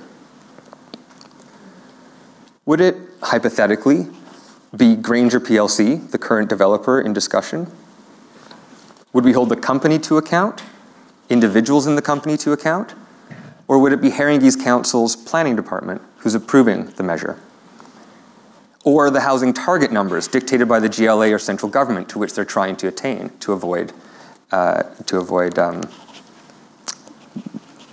other things that can happen when you don't meet your housing target? Or is it the 2011 Localism Act?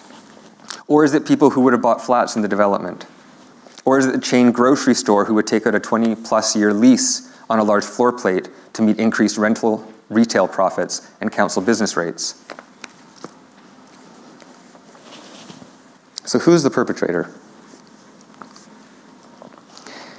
There's a long legacy in queer and POC scholarship working towards prison abolition and the defunding of police who articulate that while hate crime legislation may give visibility to moments of extreme violence motivated by sentiments against someone's perceived identity, that the answer to this violence cannot be the increasing of policing in these communities, nor the increase of criminalization and incarceration.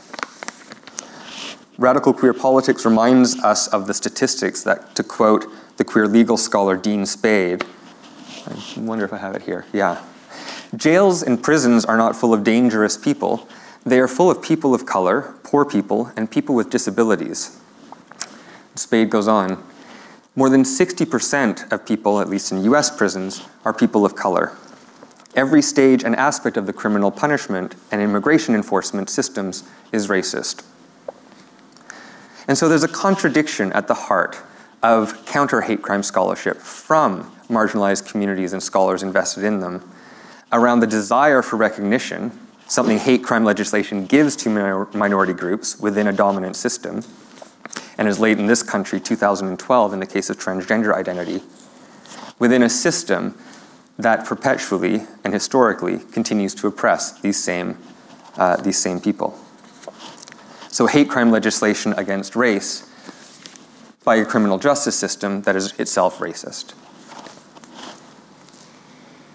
The second thing that hate crime legislation does is it identifies hatred as embodied in an individual. And this comes back to who is the perpetrator, rather than addressing its systemic and embedded structure in even those systems that aim to work to ameliorating those conditions. In opposition to hate crime legislation, Spade and others uh, in, in a book series called Against Equality that looks at uh, marriage, it looks at uh, hate crime legislation and, and other kind of uh, liberal politic procedures, uh, especially around gay and lesbian identitarian politics. Um, think about things like, uh, and, and Dean's Spade's looking particularly at kind of disaggregated queer and trans experience. working directly to support the survival of queer and trans people who are vulnerable to violence and not engaging the police dismantling uh, some dismantling work to dismantle systems that put queer and trans people into such dangerous and violent situations. So stop building new jails and immigration prisons, decriminalize sex work and drugs, and stop the expansion of surveillance systems.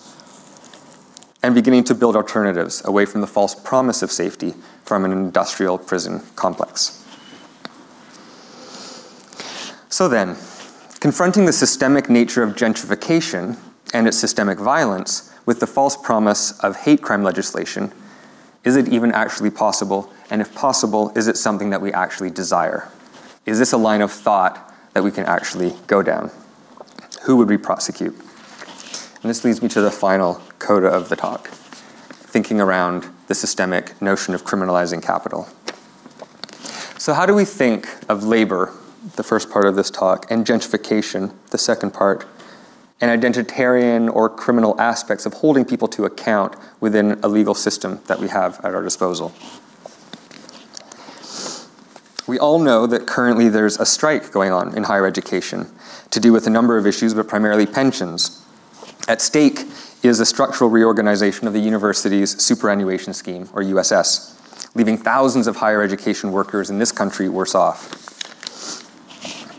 Pensions are incredibly valuable resources, as you kind of mentioned as well. The pensions that are invested in the construction industry fought for over decades and decades of continued legal confrontation with the rights of people to collectively bargain as laborers. But a pension fund is capital, it's also money, and capital needs to be invested. And investment is directed towards a number of possible outputs you can go on USS website and a cursory glance at its private equity investments show that among the hundreds of multinational corporations, banks, hedge funds, and public companies it's invested in, it's also invested in land securities, one of the UK's largest commercial property developers, in Barratt Homes, one of the UK's largest housing developers, and Taylor Wimpey, one of the, another of the UK's largest housing developers, all of which have been involved in very controversial development projects in this city and across the country. So the very pensions of my labor and of my colleagues' labor here, some of who might be in the room, some who are speaking today or tomorrow, doing research on architecture and capital, are literally invested in the reorganization of the structures of the cities in which we work. This isn't the moment where we throw up our hands and say there's no way out. Hopefully, we end on a positive here. That's not very positive. But it's possibly to raise the question that capitalism itself, as a structure of organization and of extractive quality of, of labor, which is required to make these profits that you so, so rightly put to in the Brazilian case, is a hate crime. That labor, is that labor itself as a category is, the fundal in, is a fundamental uh, condition of inequality. And that the systems and institutions that shore up capitalism's persist, persistent tendrils including hate crime legislation, or even the neoliberal university, are not the ones that might make our, our cities or us uh, different in the future. And so that's why events like today are so important for us to come together and think and theorize and imagine alternatives. Thanks.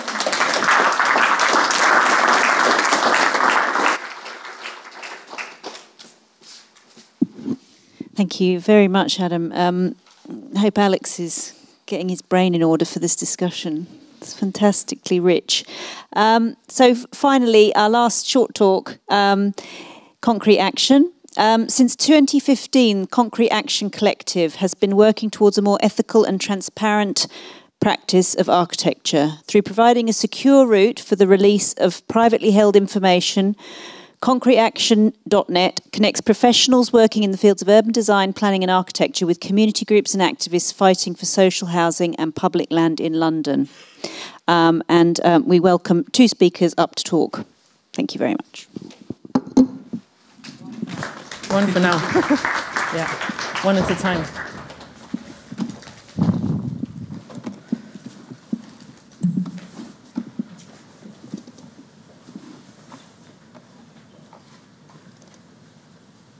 Uh, is that right?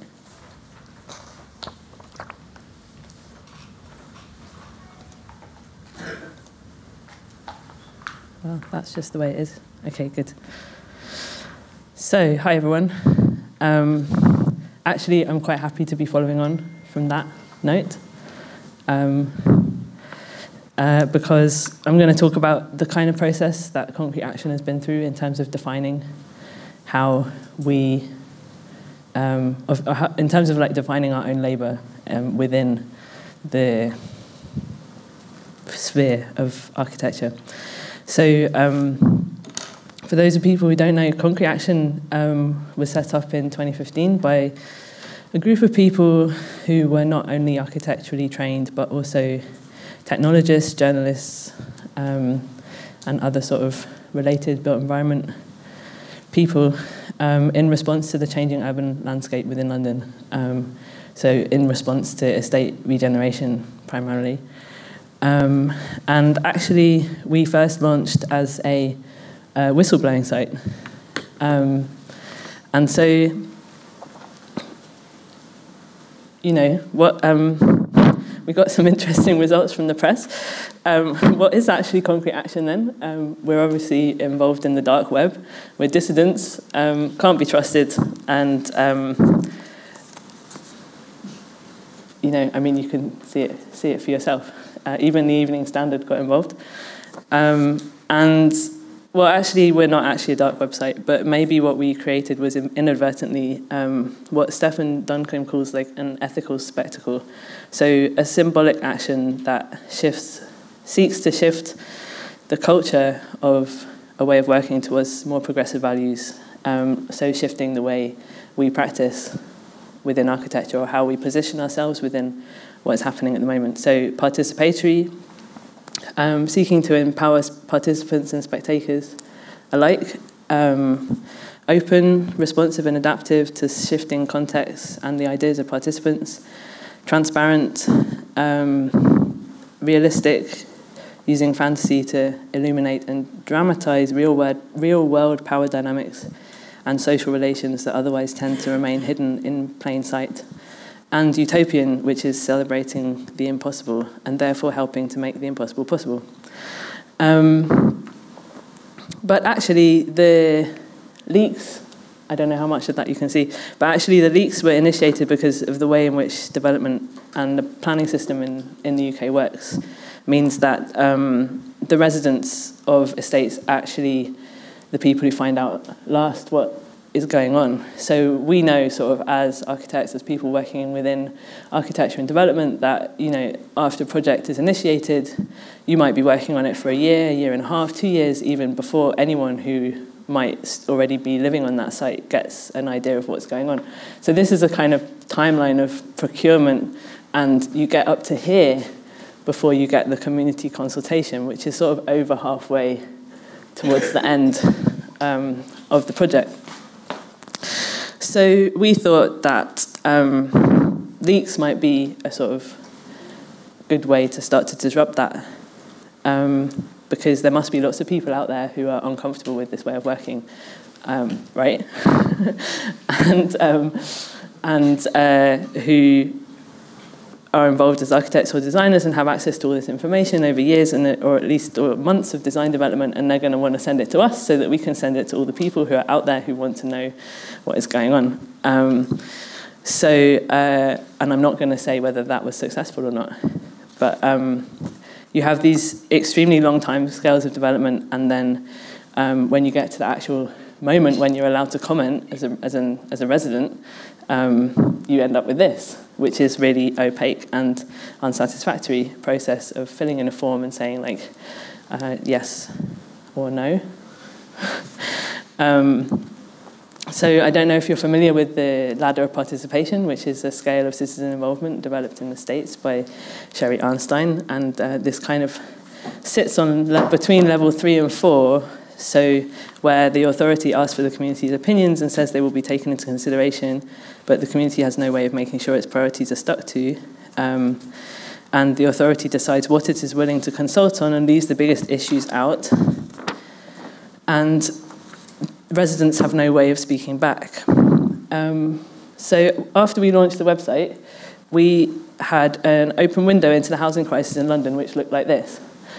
Um, it was quite overwhelming. We had tons and tons of emails, and it wasn't architects who were emailing us, it was residents, it was people on the ground saying, like, hey, we heard you're architects, you, you know what's going on, I live here, we've got this thing happening, can you help us? Um, can you come and work for us? Can you tell us what's going on? We don't understand, we don't want this to happen, can, like, stop. How do we help? How do we make this stop? And um, we were, like, actually completely overwhelmed by all of this information because you know, the last thing you really want is a window into the housing crisis. so, um, so, and it also, I mean, it gave us a good idea of what the scale of the problem is. Like, as as built environment professionals, like, this, there's an awful lot of people out there who are really invested in what is going on because it directly affects where they live. It's their house, it's their life, and that's one of the things that relates back to what the other two people you were saying earlier. Is that um, the uh, there's a sort of um, there's something that's not actually talked about that much, which is the level of uncertainty that it puts you under when you don't understand what is going on. Um, and when you feel like you're in the middle of this governmental process where it's your house um, that has been given a question mark over the top of it, and you have no control over what is actually going to happen next. Um, so, so getting back to actually um, what's going on. Um, and who has the power in this situation, which is kind of demonstrated in this map here, and starts to get back to the original point of today, which is the relationship between the finance and how we actually work. And this shows um, the different developers that are involved in um, regenerating different areas of London. Um, and actually, when it comes down to it, uh, it's not actually um, that's interesting. Yeah, so the, there's this, the, the system is um, effectively broken, and concrete action is coming in uh, from the side to try and change the way that this that this kind of system is processing the built environment. Um, and the other thing that we found out is also that it's not really it's not actually the design of people's homes that they're complaining about. It's it's the management.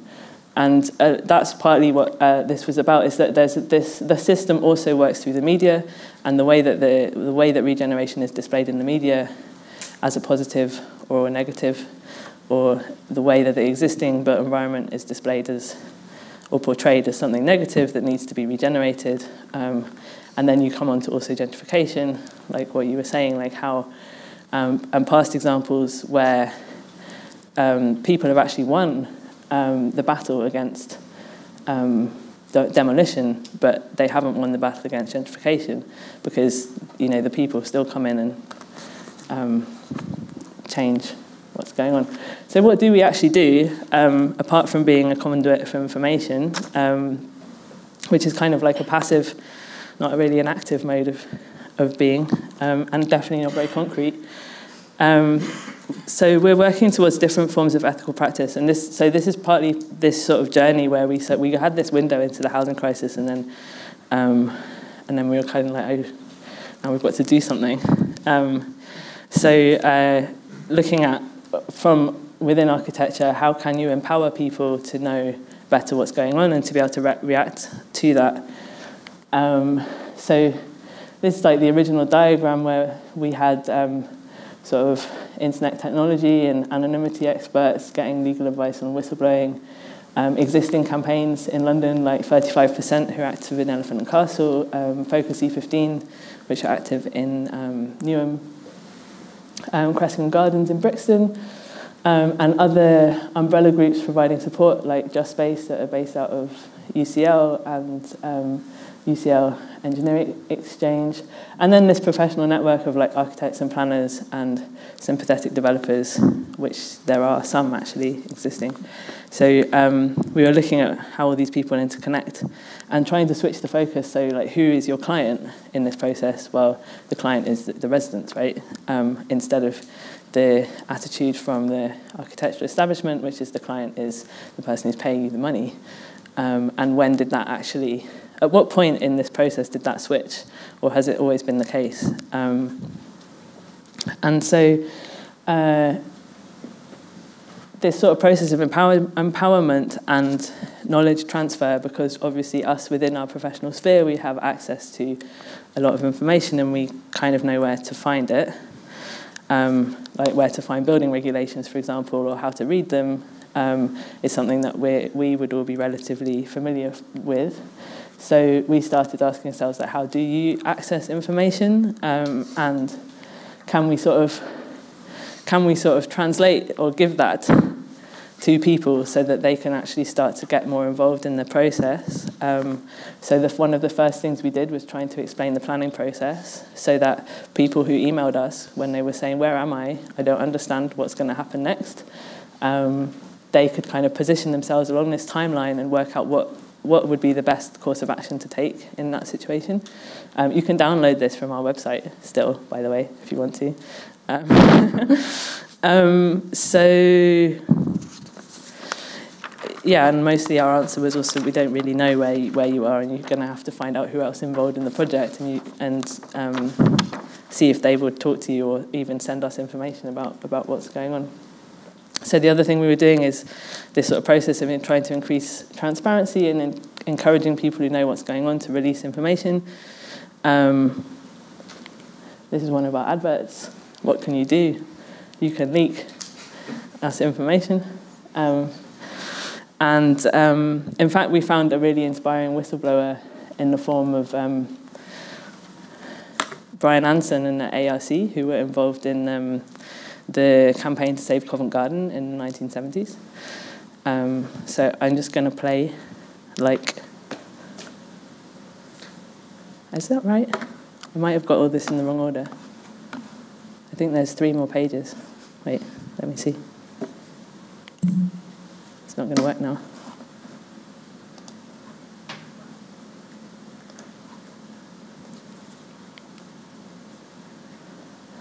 Is that true? Yes.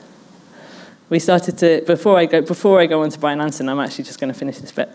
Um, uh, so yeah, we started this process of kind of untangling, and actually, um, this is. Uh, this was kind of this was kind of the attitude that we felt like the architectural profession had when we started, which was just like, ah, there's this housing crisis, help! What are we going to do? We don't know what to do. Don't know what to do.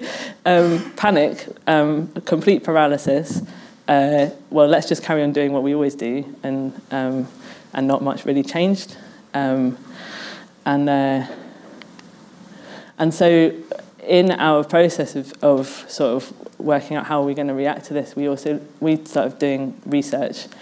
Um, this is a magazine called Us, or Architects for a Really Socialist Environment, um, or whatever you want to call um, and so we've discovered like a whole bunch of people, like us and um, and the ARC and Brian Anson, and they feel like there's also this kind of um, collective amnesia about things that happened um, in the past regarding um, similar practices. So here's this is a tiny clip about We've got radical architectural students operating under the guise of the Architects Revolutionary Council announced their presence to the world, staging a dramatic press conference and publishing an inflammatory manifesto which called for the destruction of the RIBA and the establishment of an international movement towards community architecture. The ARC emerged from a unit at the AA run by Brian Anson and defined themselves as architectural revolutionaries. Their manifesto stated that when words such as destroy, enemy, and overthrow are employed, They are meant. We wish to create a situation whereby every time a student passes a building such as Center Point, he vows that he or she will never work in a practice that is involved in such obscenities. Whenever a student walks through a gentrified area where massive improvement grants have enabled landlords to evict long standing tenants and raise the value of their property a hundredfold, he or she will vow never to work in firms that indulge in such activities. So now I'm going to pass on to Charlotte. Hi, thanks. Oh, do I need to go back? Uh, yeah. Hold on. Do you need a shortcut? Smart. Mm. On a Mac. Yeah. Okay. So, uh, a lot of the work we do is in quite a lot of different strands. So we're basically just going through a few of the strands rather than kind of making a big arc. Although we'll try and like round it up also in the discussion maybe later. Um, I guess we were starting to work on kind of like uh, yeah grassroots kind of community engagement and things like this. Um, and then I guess we started obviously thinking about how to engage other architects or other people in the built environment into that and the limits and the difficulties about doing so. Um, and we also kind of noticed these kind of, you know, cute enclaves of good work that are built up from, you know, uh, trust funds to, um, you know, different kind of conditions, um, and also kind of the, the, the alienating uh, quality of certain uh, uh, architects or activist groups, um, whilst we empathize with both aspects of these kind of enclaves, right? There's something not quite working in terms of engagement. Uh, and uh, I guess we didn't want to kind of be one of these trophy kind of cute um, projects as such, and we also didn't want to just be kind of aggy. So we're trying to work out modes of engagement in that way. Um, I guess part of like the our own social reproduction, right? We reproduce ourselves as a left project. We reproduce ourselves as architects, and trying to trying to just admit that that's part of it. Um, I guess these two two uh, uh, quotes from this uh, article kind of sum up maybe a bridge in our in like a, a, kind of moving point in our work. Um, I don't think ethics and architecture go together. We have a history of being sycophantic to people who give us jobs. Fair enough. Um, if we don't do the work, someone else will, so we try to do it better. Yeah, another one, kind of trope phrases that you can empathize with, but you know, is what we're dealing with when we're trying to like you know, build or expand kind of the work that we're doing. Double-sided, yeah. Also, um, I'll kind of keep uh, quick on this. There's also the larger kind of intellectual crisis with um, from uh, Tafuri back in the 70s, who kind of more or less said in the introduction to the republication of uh, Architecture and Utopia, if you want to do good, do something else. Um, it's really not much longer than that, the sentence, but uh, it's a bit longer. I think he says, be an economist. Um, uh, so yeah, and obviously we will hear, and uh, across the whole symposium, we'll hear um, an elaboration of um, uh, work by Peggy Deamer on the architect's work, etc. It's just kind of around, so I put it in, but we, we know this bits. Um, so yeah, I guess there's also a climate of uh, kind of recent uh, unionization and new forms of precarity and responses to that, especially in London, that we were really kind of inspired by, and a lot of kind of friends or comrades or whatever on other areas of the left were kind of working in and getting real results. So we've got the IWGB and United Voices of the World who um, have made real wins for. Um, either new or old forms of precarious workers. So you've got outsourced uh, cleaners in academic institutions, you've got delivery workers. Um, so with bosses who are basically algorithms, like your boss is an algorithm and you don't have an office and you're totally de- like disparate across the city. So new kind of structures to help these workers and new forms of organ- organizing throughout the city. Uh, the Artists Union. Am I reverberating a lot or is it just me Oh, okay, sorry. I just hear myself. It's intense. Um, um, and then Artists Union England as well. Okay, trying to work out how creative labour can engage with these things. And also some of my favourites, Acorn, Renters Union, and uh, things, actions like the rent strike in the past couple of years. Um, I don't know if many people know about uh, Acorn. It's kind of the past few months, but um, built in Bristol. I mean, to apply to London is quite difficult, but um, yeah, basically renters union that have been winning and like getting deposits back from landlords and picketing real estate um, uh, estate agents and things like this, and the university rent strikes, etc. So there's kind of been like appetite on other areas of the left, basically growing. Uh, and, and feeling like actually that's something that maybe we do want to speak about. And um, then we found, uh, yeah, architectural workers. Um, some of you might know. Um, they're a, an organisation uh, who look specifically into kind of like la- la- labour conditions and um, architects' role in the housing crisis, etc., etc. They've done many events, and they were um, developing an, an, ongoing project, um, which is a workers' inquiry of over 100 people on their experience of practice, to give kind of weight and nuance to the possibility of kind of collective organisation in the future and trying to understand exactly what people are going through today. Um, they've also organised debates between residents, activist groups, academics, or architects in one place, so trying to break through these enclaves that we're speaking about. And we had basically collective ideas, collective demands, collective ways we wanted to work, strategy, rig- rigor. So, yeah, we are really tight now. and um, yeah, and we also knew of all these examples, right? Like most of us had done some kind of dissertation project here and there that kind of like mused about all these kind of heroes of where, whatever time in the past 50 years where conditions were better, they were squatting, they had better rent, it was like seems sunnier or something. There was cultural moments of, you know, uh, not to kind of negate those conditions where they still did kind of quite radical work, but we kind of heard about all these things that were so great, and we just wanted to, know more about them and situate ourselves within that, really, um, not as a kind of ego trip, but as a as a historical and political act to situate this moment in a line of other projects, and through that, kind of begin to instrument, instrumentalize these things rather than just kind of um, reinventing the wheel, maybe. Jumping on to newer ideas too fast. Um, so yeah, there's, there's, all these things kind of floating around, and so we um, found, uh, well, we already knew and were also friends with. Uh, where is this? Oh, yeah. Mayday Rooms, which is a social uh, movements archive and meeting space and union offices on Fleet Street. Um, who, yeah, so basically have one of the fir- like one of the only kind of uh, archives in the world of social movements, which is de- developing and undergoing and quite, quite new, really. And so we'd been wanting to work with them for a while, and we um, uh, basically decided to kind of create the kind of built environment or architect wing, I guess, of this archive. And to bring all these things in one place, it's an excuse to find all these people who'd kind of wrote dissertations at a distance about um, and kind of hear how they thought about today, uh, what they thought about then, the things they learned.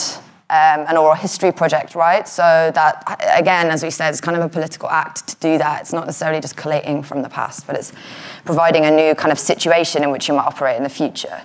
Um, yeah, on top of that, with Mayday, we talk a lot about professional, like professionalism and anti-professionalism, but in a kind of useful way.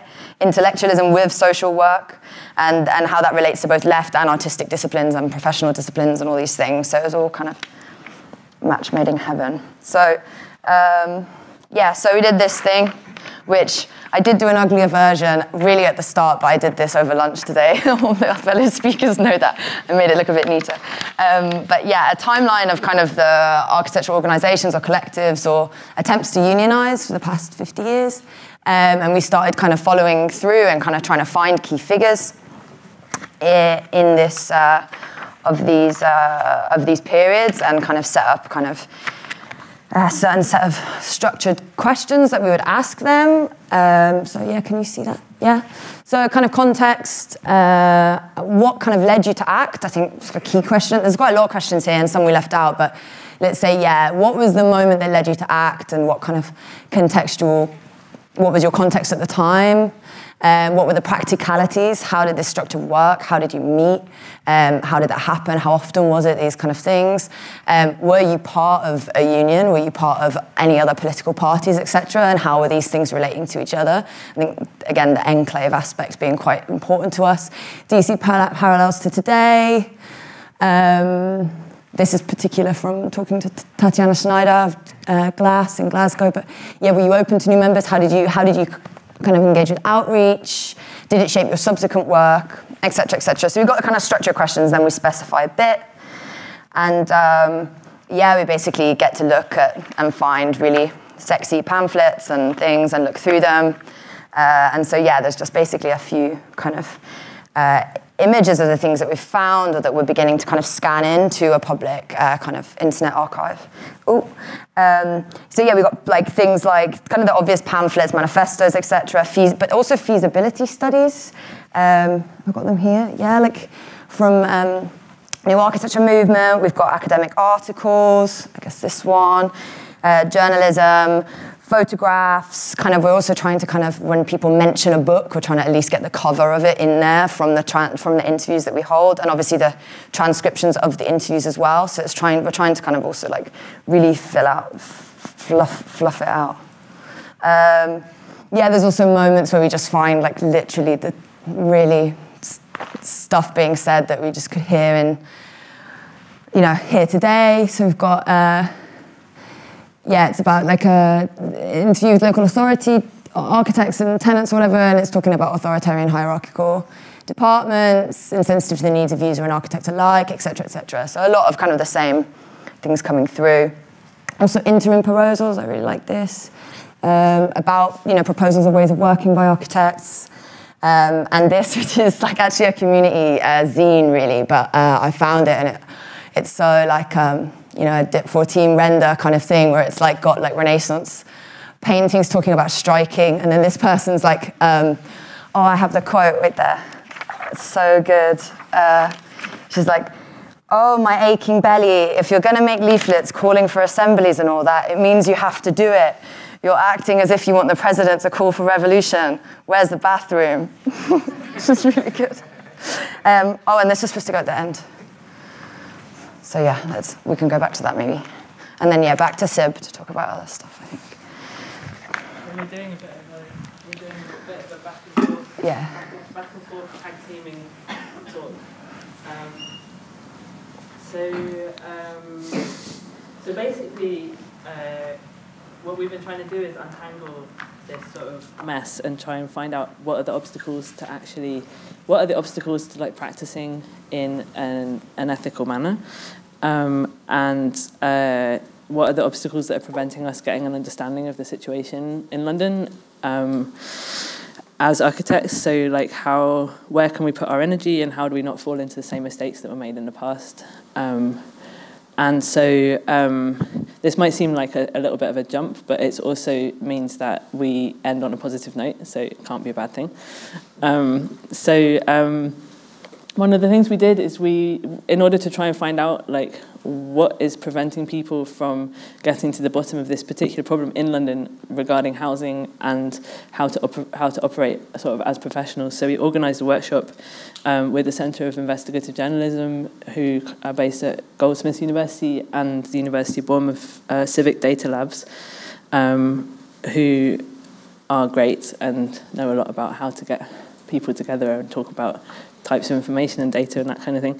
And so we invited people from within the council, within local councils and lawyers, um, housing activists, um, hackers, um, architects and academics. Um, we were looking at so what what kind what are the kind of data infrastructures that are related to housing. Um, so how does that information get out to the public? Like why is the why is the docu documentation around planning and development so opaque? Um, and there's an initiative called the Open, Open Data for Tax Justice, which is a database um, which they've developed, which looks at like what corporations pay in tax and how they pay tax and where that money comes from and where does it go. Um, and if there was a public database for um, or against regeneration, um, who would use it and how would they use it and what would it contain? Um, so we did this kind of brainstorming exercise where we were looking at like all the different kinds of things that people experience. So like in regard to housing, supply and demand, like can you find information about right to buy? Can you map sort of um, existing use value of social housing and like really getting into the details of like what happens um, beyond the kind of like fluffy design project that you know involves community participation and stuff. There are actually like real physical barriers to actually getting stuff done. Um, and can this kind of open data initiative start to combat the sort of insidious privatization and neoliberalization of the way we work through opening up areas for collaboration which were closed or obscure or buried underneath, you know, a 500-page document like the New London Plan, for example. Um, so um, the good thing is we so we can end on a positive note because like there are um, other examples of how you can scale up that kind of participation. So it's not just like um, the thing that we've experienced in London, where all of the a lot there are a lot of campaigns around estate regeneration and around housing, and they're all sort of hyper local because they're all very much involved in um, one estate and the people in that estate having to go on a massive uh, learning steep learning curve to understand what's going on and only really having the energy to concentrate on that super hyper local area around where they live. So um, there are other tools that are being developed to address sort of problems of like legitimacy, like as a, an estate resident, how do you get people to listen to you? Um, participation, like who has access to this information, how and um, does that also reproduce the kind of problems that you get with gentrification? And like if you have an open Wi-Fi network, for example, where do you put it and who then has access to that? Who has the technology to access that in the first place? Um, and how can you make people accountable? How can you make the authorities accountable?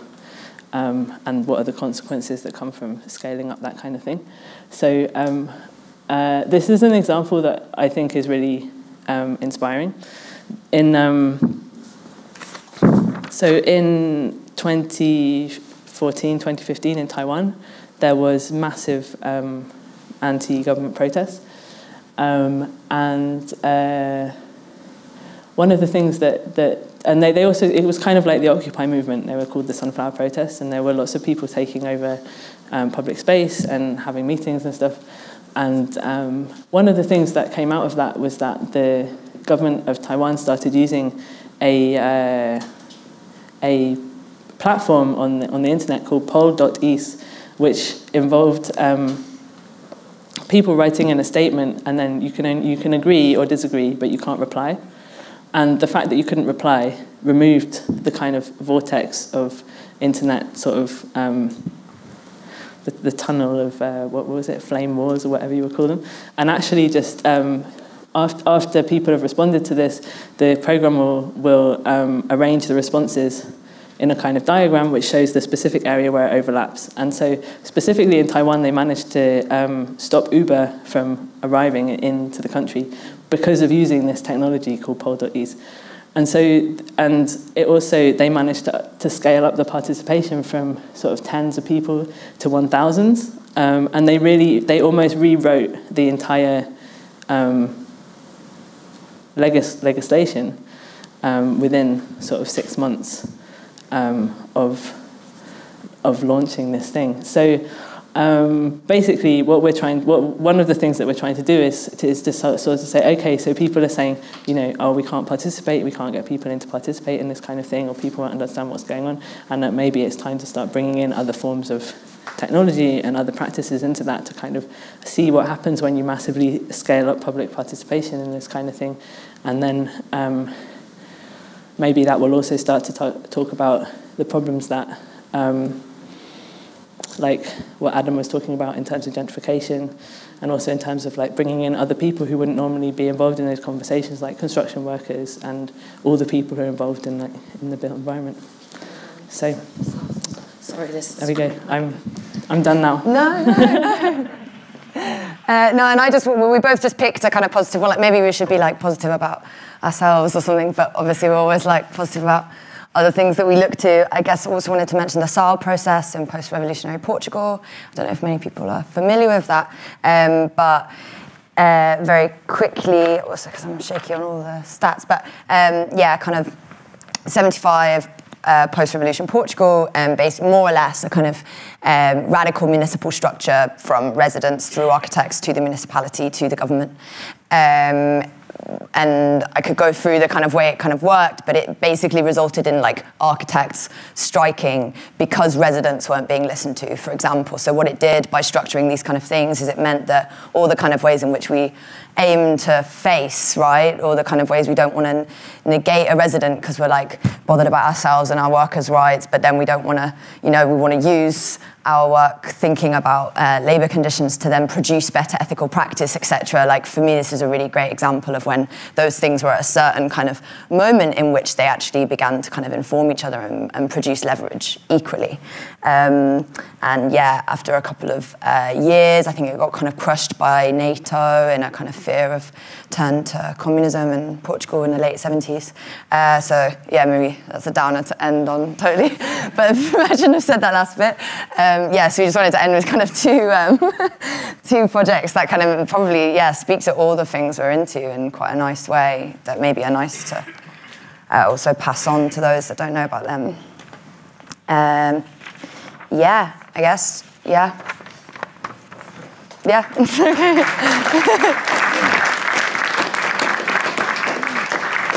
I. Thanks very much. Um, very, very good audience, quietly concentrating. We're only, believe it or not, we're only about 10 minutes over. And that was a really sort of rich, intense, old fashioned lecture session. I feel like fully rewarded. So um, the way we're going to do it is have a short break for a cup of tea and a breath of fresh air if you need that. Um, and I think we'll reconvene here at half past four um, for a, a, a, discussion, opportunity to ask some questions, and Alex will be chairing that. So, um, and I think we'll have around half an hour to do that before we move forward to have some alcohol and celebrate a book launch. So um, do come back, don't wander off. It's nice and warm in here now, I think. So um, go and get yourself a tea and come back in. Thanks. I think we need about three or three to four hours to start to unpick um, the density and kind of urgency of some of the things we've been talking about today. But we do have another 24 hours at least, so hopefully we'll just um, start with a few comments and questions that might start the introduction, the things that we'll get into finer grain detail into over the coming um, days. Uh, one, I'll make a few comments to start you talking and then probably um, give over to the audience because I'm sure there's lots of burning questions that we want to get across in the next 30 minutes. Um, if we accept then that architecture or spatial practices that we're all involved in are in this really tricky or precarious or contradictory position in that we're, um, everything we do is intrinsically related to labour and to production, to construction, to economic production, but also to safeguarding society, social well-being, human rights. We're always then culprits, so somehow of exploitation or criminals. um, if you put it that far, we're kind of to blame as well as trying to, to, to save. So within that position, something that you all seem to be talking about or comes up a lot in the presentations is this question of visibility, what we can see, or trying to make things visible that were invisible. Why did we not see it before? Surely that relationship to labour and exploitation has always been there. We were talking about literally taking away plywood fences so you could see, or whistle blowing so we know. Why did we not see these things before? Or did we look away? A collective amnesia or blindness, as it were. Hmm. As architects, are yeah, you saying? as a profession, yeah. As a profession, well, I don't know. I mean, there's that thing where, I mean, there's the, the history, the historical moment where the, all the professions were, you know, all the other professions, like the doctors and the lawyers and the surveyors, and were kind of demarcating their boundaries. Um, and the architects demarcated their boundary too, thinking that would be a good idea. But um, then, you know, everybody knows you don't need to be an architect to design a building. So maybe that happened at that moment where the where that the moment of distancing yourself from from you know from being the architect being the sort of master builder or the site foreman or something who was actually involved in the practical construction to the person who is you know suddenly one step removed from what is going on. I don't know.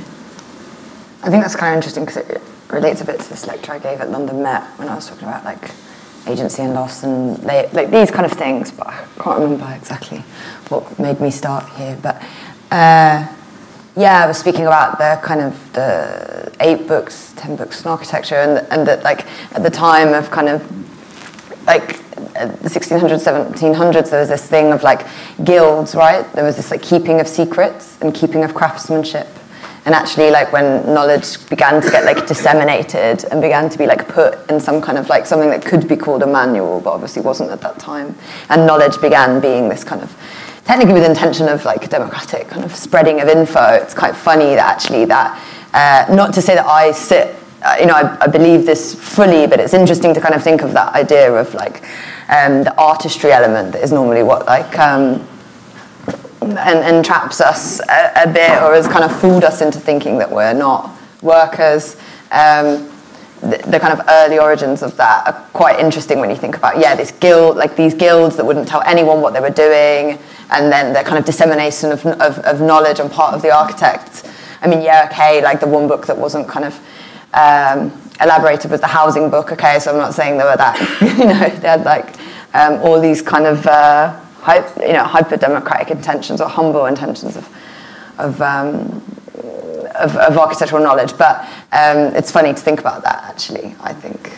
Um, but I'm not sure if it you know, it can be said for the turn, like the, the microcosm of today that you're talking about. But if we were to kind of academicize it, you could speak from there, you know.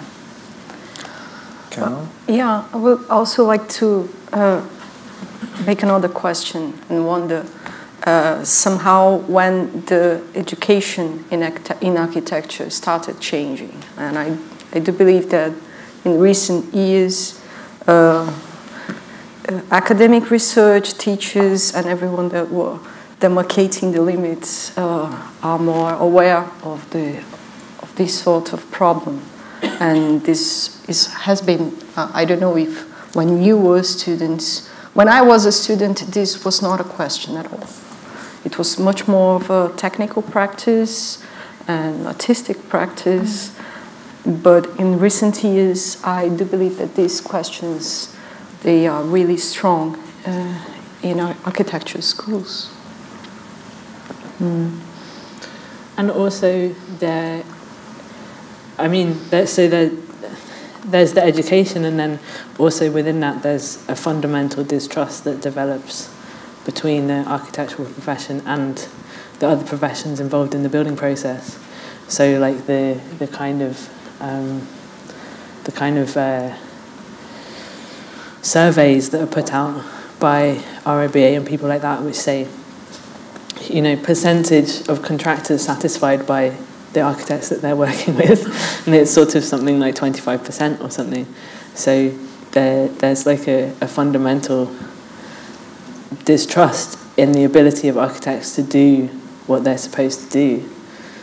Um, and here we are on the other side, having these conversations about what we're supposed to be doing somehow. And it's almost like it feels like there's so many of these circular conversations um, that happen, and also within that, within education as well. Mm.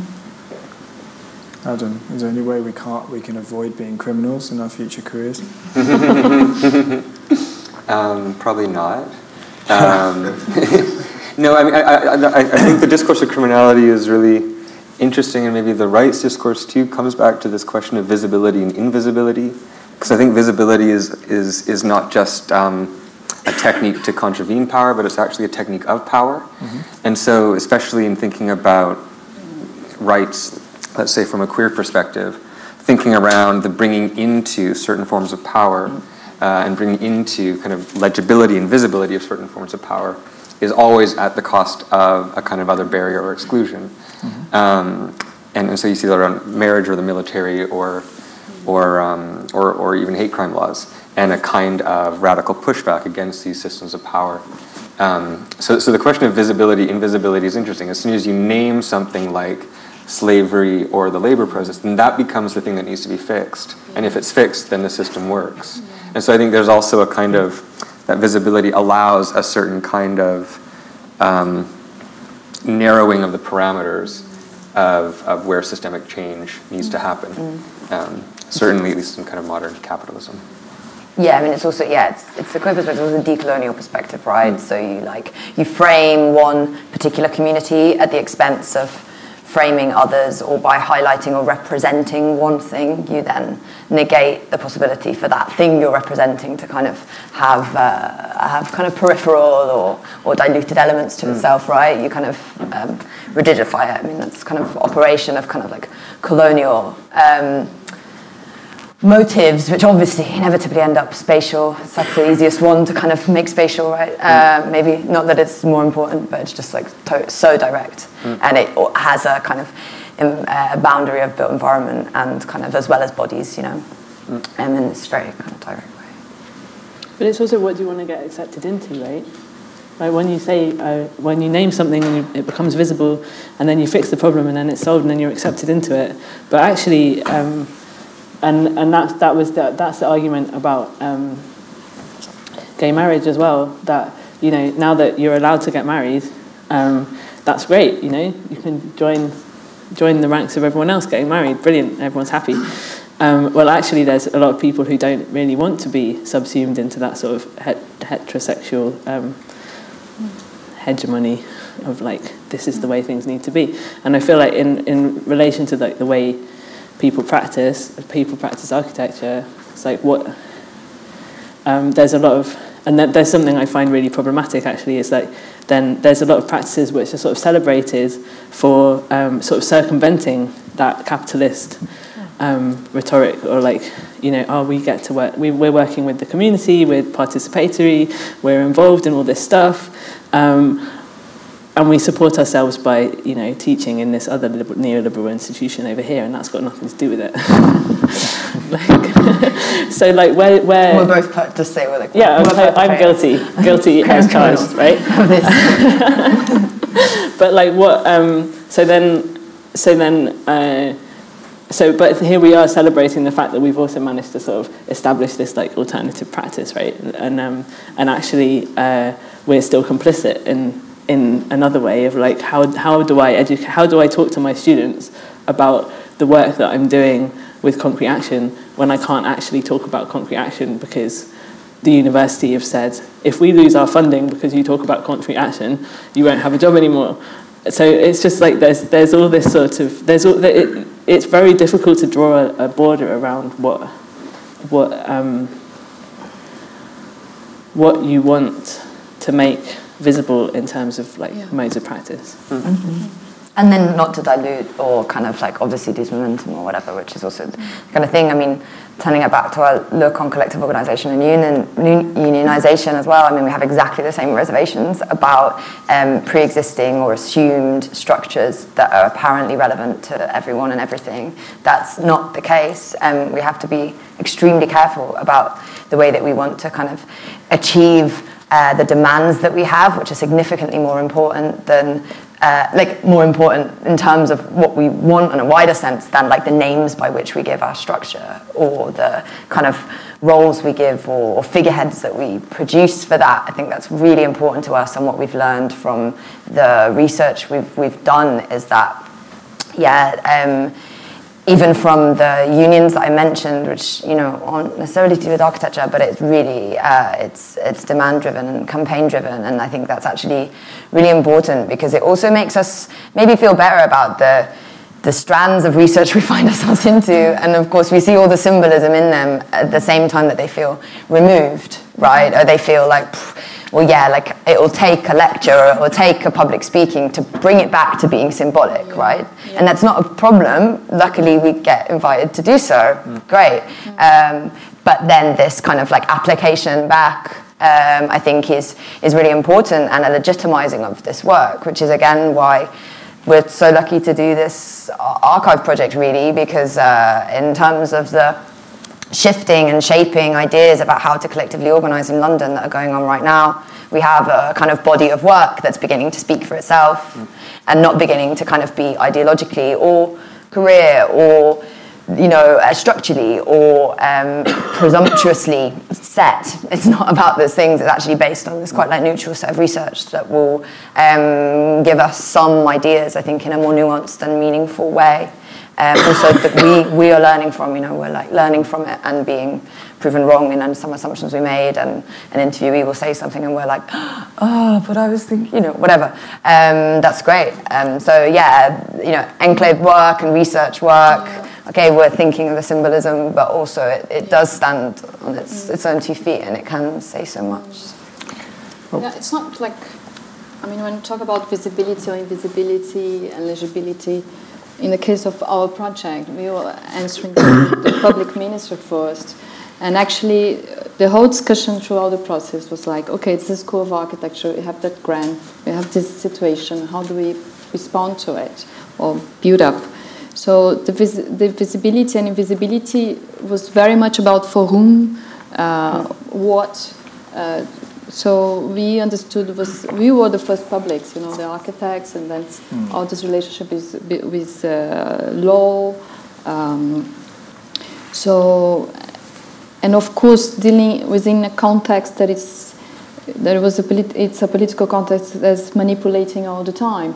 Uh, uh, so the visibility in that case was pretty hard to find out those mm. data and to organize. Uh, and we were really careful and we were really discussing what to present, what not. And then the workers, they never think themselves as slavers, you know. And yeah. then being really respectful and how do you do that? Uh, yeah, indeed. I mean, uh, it's there is uh, there are really uh, concrete consequences of what you choose to mm-hmm. bring visible and not. And uh, but that was key in the case of this research, and then the symbolic, of course the, we were not operating so much on the policy level, although we were responding to the public ministry that would give them more tools to realize, uh, because we were really like an exception of this kind of um, grant for, for mm-hmm. that operates in that mm-hmm. way, because usually they say it's all uh, corruption, actually. Mm-hmm. It goes to NGOs that just corrupt the money and so on. So, there are, yeah, it's always, I think, very situational. Mm-hmm. And that's how law develops, right? I mean, case, I mean, I don't know my law stuff, but like a precedent and case, you know, that's what defines the yeah. thing, which is what's so what's interesting. I mean, it's tiny. And you with all the contradictions all the time, no? And, yeah, yeah, yeah, exactly. part of you. And it's also what you know, lawyers often fight cases that are fluid or not yet established because yeah. because it is a way to then establish a law, like an application elsewhere, yeah, right? So it was quite interesting about your work is when I, uh, a squat I was part of in 2010, which is still going now on West London, uh, was the first squat to get uh, an appeal based on Human Rights Act. So on Article 8, peace to right to a peaceful family life. And like we knew we wouldn't get the thing in the end, but it, the very act of getting that appeal actually shaped mm. the law in itself just by that actually happening. And yeah. so we had loads of barristers really up for helping us out all of a sudden. Whatever, you know, like not to be dubious about that stuff, whatever. They were like doing loads of pro bono work. But um, this thing was interesting because it was like this, this precedent, which is exactly what we're talking about, a case by case or a demand based or a campaign based thing, which then shapes the structures beyond it. So so, what about new structures then? Because we're all talking about um, exposing issues and proposing alternatives. Um, what about larger scale institutional alternatives? I mean, as you to sort of expose quite clearly, one of the key issues is the relationship between the state and the private sector. Yeah?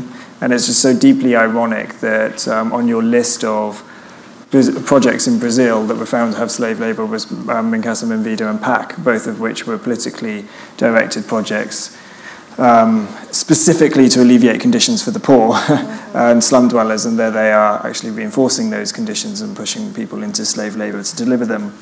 It strikes me that architects as a profession, we're always in between the public and, um, sector and the private sector. That's where we sit. Whether we're working for the public sector directly or in private practice, you're always going to be in, in between those two forces.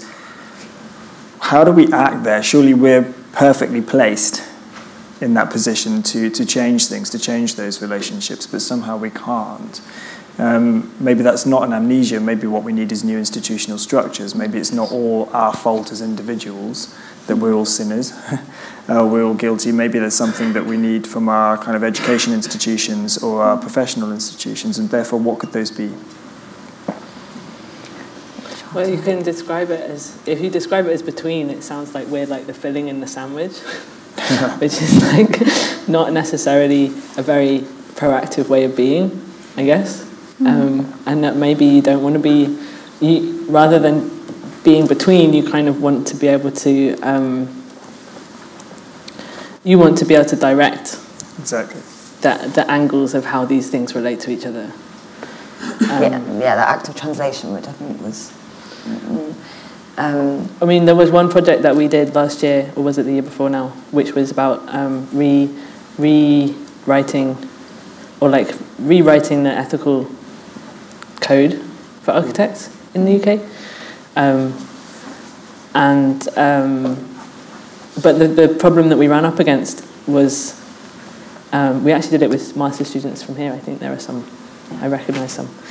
Um, and one of the things we ran up against was then if if we if we have a new code for like the way we practice or how we relate to those other um, stakeholders, um, what is the incentive for people to act according to it?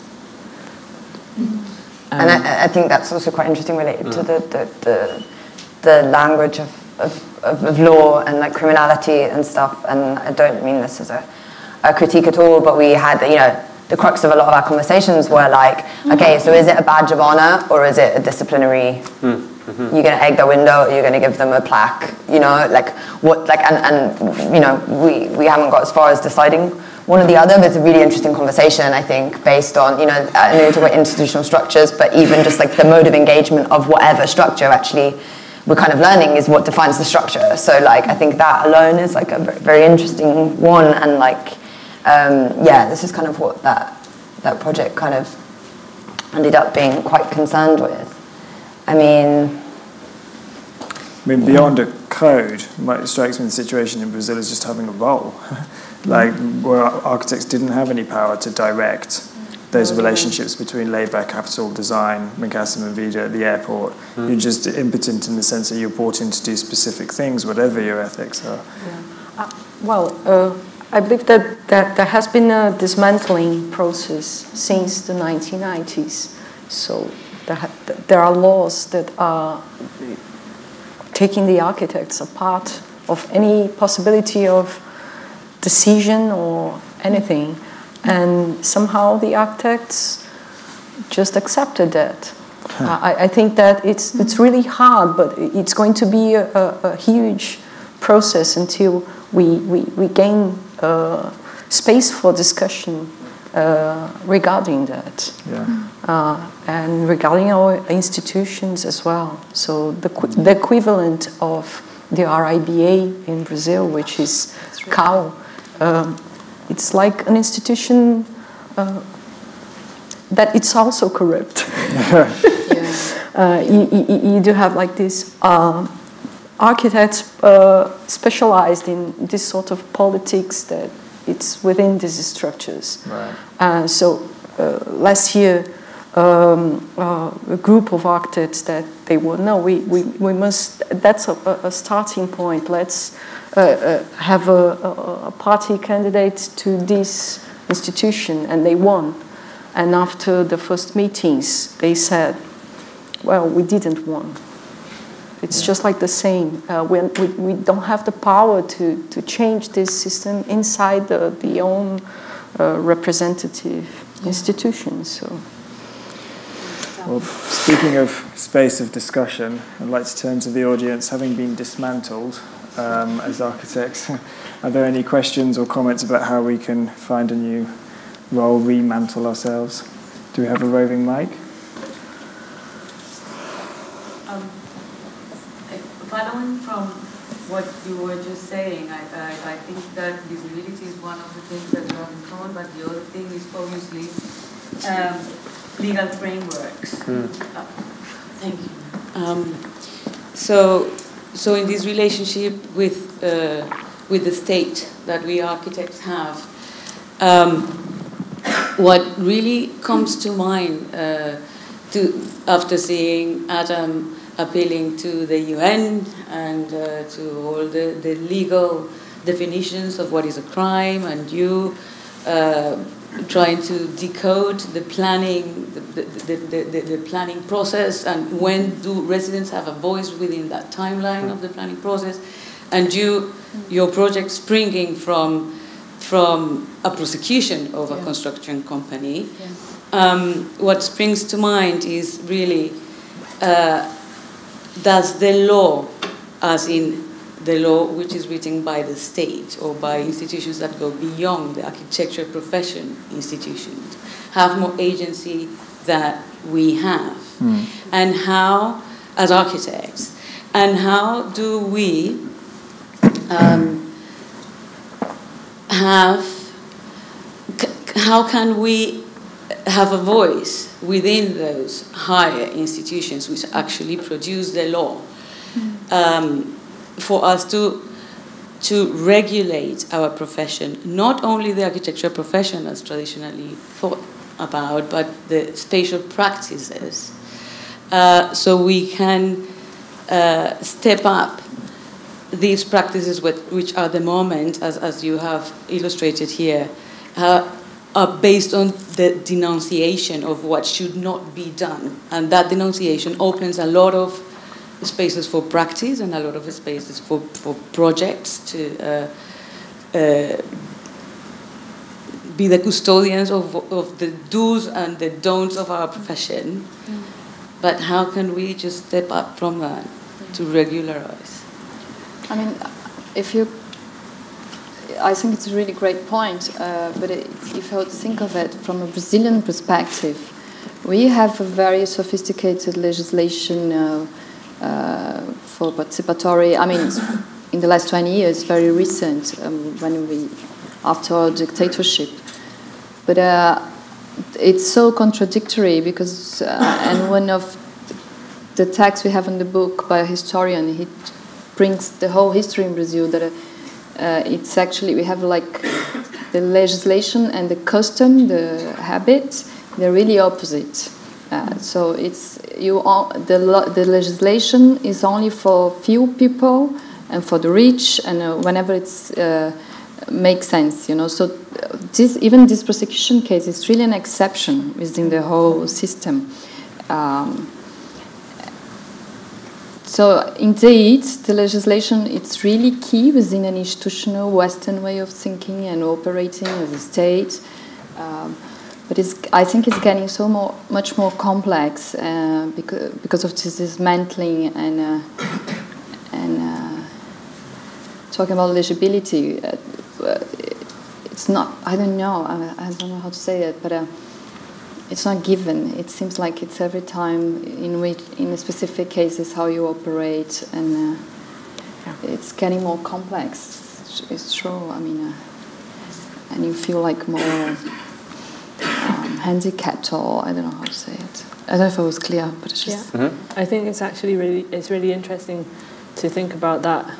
Um, specifically in a UK context, now um, after the after the Grenfell fire that um, there was a there was obviously a massive reaction. So what ha- what has happened here, and um, and the focus was on well one of the focuses was on regulations and the building regulations, and um, why haven't the building regulations been reformed, um, and how long has it taken, and um, I don't know if anyone's been following this, that actually now um, the building regulations for fire are being reformed, but they're actually being diluted, not strengthened, and that's due to lobbying from the construction industry. Mm-hmm. Um, and the architect- architecture as a profession has been completely silent on this. Uh, the, the RIBA said it was disappointing.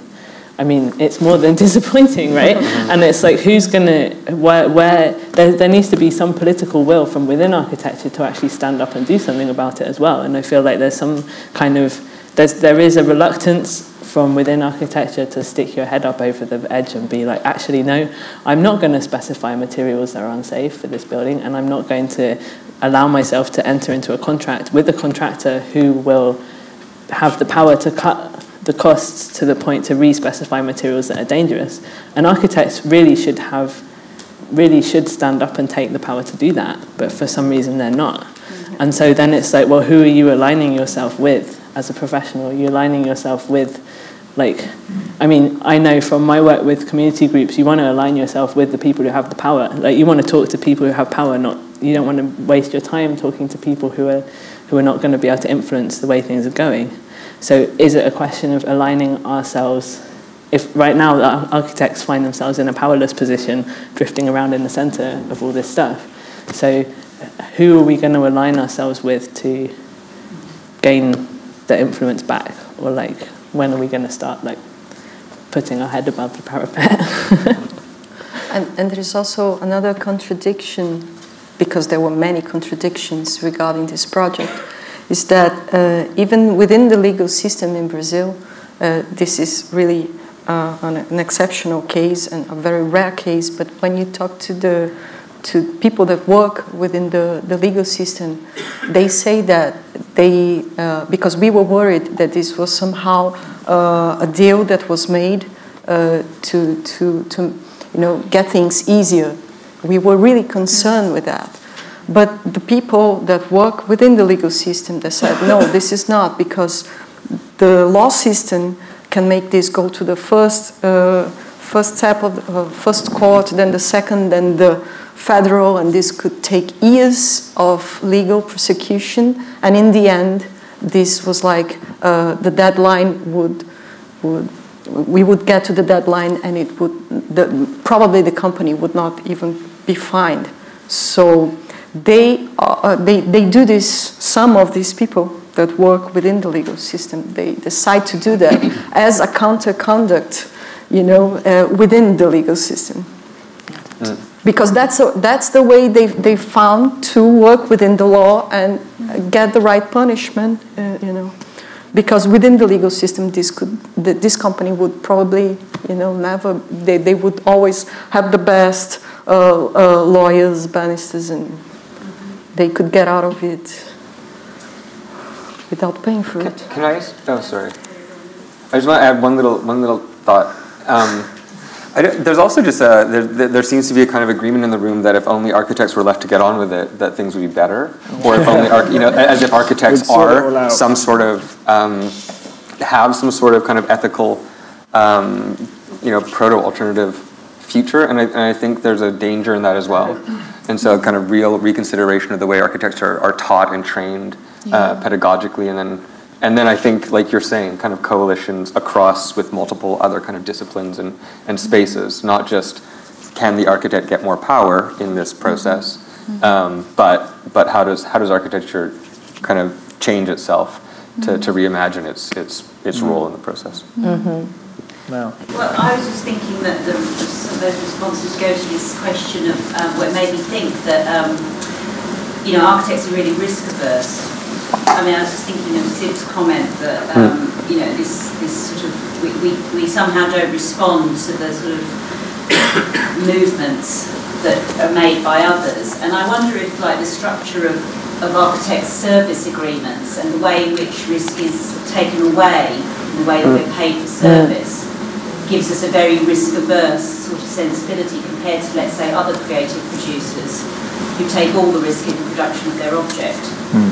And it, it just sort of does feel that this sort of risk aversion means that there's not sufficient, um, I don't know, ability to resist within the, the profession itself.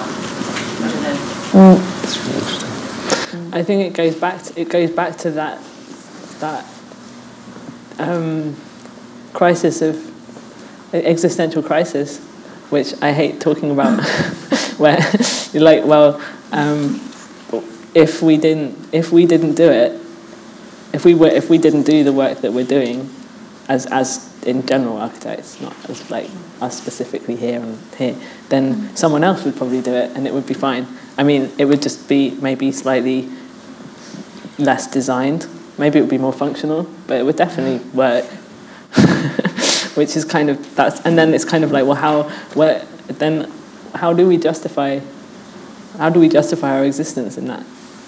I guess I was thinking that if it's if it's not a sort of that's the problem with architects, they're risk averse, but if, if the whole structure of our profession, the way we pay ourselves, doesn't means that we refuse to take risks, then we then if that was reorientated, mm. would we have more agency in the sense that we would be more would, would prepare to take risk and risk is what's mm. needed for change. I don't know. It's just a proposition. Mm. There's a question over there. I think along that line, like you mentioned about the construction company and not deciding not to work for construction companies. But if you look at innovative design build, for example, you are given to, you know, your, your client is a developer until halfway through the project, at which point your client is suddenly the contractor. And so I think that's part of what you're saying too, is that the contracts are set up in a way to be risk averse and to protect ourselves. And so, yeah, I mean, it's, it's a systemic issue. So then we don't have a choice. It becomes less of a choice of I'm not going to work with that contractor because halfway through the project you find out who the contractor is. Mm. Mm-hmm. Surprise. Mm. Okay, do we have time for any more questions or comments before we go to the book launch? Particularly from students, yeah. I'm just wondering, like, so I think there's been some really interesting points, but wondering how do we take these points into the mainstream? Because there are plenty of architectural professionals that are happy just to work within the current structures and the current systems. And how can we change those systems? Any easy answers to that one? I can have one direct suggestion, which is the RIBA um, have started an ethics commission, and I think we should all pile in on the RIBA's ethics commission. Mm. Otherwise, it will just get watered down into a, a planned document. So I think that volunteer to go and present yourselves to the Ethics Commission. Mm. Yeah, very concrete. More concrete action. I think Any other questions or comments? I, d- I think I think there is a in terms of like I don't think people should be uh, criticised for wanting to go to work, do their work, go and go home at the end of the day, and just get paid for it. I mean, even if I don't personally want to do that, I don't. I don't feel like I should be judging people for just wanting to have a um, normal, you know, existence. And so, in terms of like, in terms of like changing the structure, like changing institution, like those kind of big institutional structures. Um, kind of relates to what um, you were saying about uh, like how these large companies end up working on in in these kind of projects, mm-hmm. and then um, and then it's less about the individual, like your individual choice about where you're going to go and work, and more about um, about uh, sort of can can there be like, is there a possibility for the profession or for people working in the built environment to form a kind of collective force? like, I don't know if that's a possible thing. Like, it would be great if it was. Mm. I think, sorry, I no, think, no. do you want to go ahead? No. Are you sure? Yeah. Okay.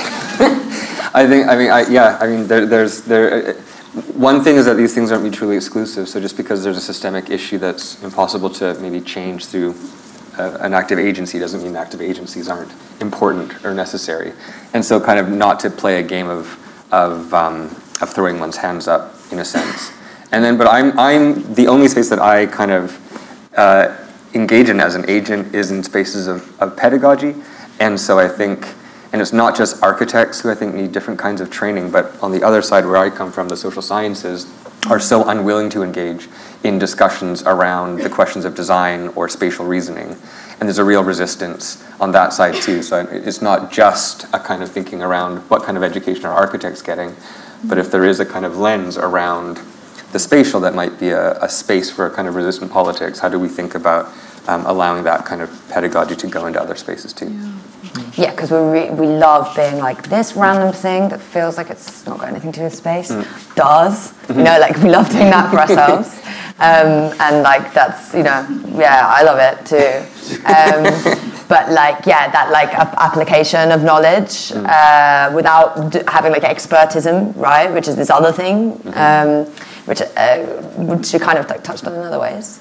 But the application of uh, kind of yeah, like spatial thinking. I mean, like I don't have many architect friends, luckily, um, and so like uh, when I like have when I bother to kind of talk in a bit more detail after a couple of beers about this thing, I think, or the the, the ways in which my one, you know, I don't know, communist poet friend is saying one thing, and then like I'm like, oh, then they're like really quite amazed by that actually, and there's loads of discussion that can come from that, and I kind of similar to, even in a personal level forget to kind of or don't take opportunity to like apply. Mm. Not like hog the show with my knowledge, but like apply and do that translation work, you know, where we're constantly translating other uh, acad- academic or pedagogical or, or labor-driven kind of issues into our own kind of mm. enclave, right? We love that, but mm. um, back out again is a funny one, and it often only com- comes in terms of like a- activist work, which is, you know, like unfortunately not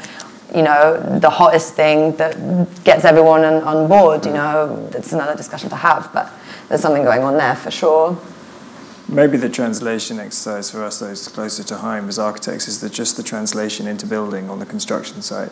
I'm struck by the image of Lina Bo Bardi on site in MASP, mm-hmm. and she's one of the construction workers, and she doesn't really have an office, and she takes her office to the site and builds yeah. a project maybe if we then went one step further forward and we had to employ the labour force and take care of them and we reclaim that ground, that might start to translate or reclaim some of that territory. But how we would do that on something at the scale of an airport or a mass building program of housing for the poor or something where it's so much a governmental level, I have no idea because it would be way, be, it's a much bigger scale of institution and, and operation beyond the scale of one building or one, one project or one architecture practice. Mm-hmm. Do we have any other questions or comments? Yes, please. I just want to make a point about um, working for contractors. We don't have a relationship with contractors. Can we pass the microphone just so it gets recorded? Sorry. Thanks. We have a contract with the owner, and the owner has a contract with the contractors. We don't have a relationship with the contractors. Yeah. So in, in all of this discussion, about that relationship. We don't. We need to construct that. It's not there. It's mm. not that we're doing it badly. We don't have it. Mm. It's it's part of the institution of architecture and the creation of the profession that we do not have relationship with contractors. It's a problem. Mm. But we do have to we do have to communicate with contractors. If there's even if there's no legal legal contractual relationship between us and the contractor on a particular project, there's a definite, there's a channel of communication which is already open in terms of like drawing, site visits, you know, that kind of discussion. You know, no, we, we all know that there's, we talk to them and they have our working drawings and whatever. But it's not insignificant that we do not have a legal relationship with them, which is why someone like Zaha Hadid or you know whatever, you know, can say there is no obligation. There is it's not our responsibility. Legally, it is absolutely right. It's not our responsibility. Mm. So some, something needs to change around that if we're going to have this discussion. Mm. mm we were supposed to end on um, positive. Yeah. um, that is positive. Action, no, which that it, a positive direction. Yeah. Sorry, there was one more question. Yeah. Can we pass the microphone? Two, just to say, I think there was two. This lady had her hand a bit. Hi, thanks. I've uh, enjoyed the entire discussion. Um, I'm on the Ethics Commission. so I look forward to hearing more about. We're going to have beers in a minute. Yeah. Find us in an hour. So if you've got the new ethical code sorted. Saved me a lot of time. Great. How can we get involved? Uh, come and speak to me afterwards. My name's Alistair Dixon. Okay. Thanks. I think this lady had some. Thank you. I was uh, just thinking maybe one huge problem about uh, the profession and ourselves feeling so almost helpless in this lies within the within the profession, not necessarily in relationship to contractors, maybe as well, of course, but uh, the whole idea of individual power, of the individual as architect, as architect, or whatever, like uh, kind of the lack of feeling of togetherness, or we, or the like common action, and of course in the professional bodies, possibly all over the world, doesn't matter where.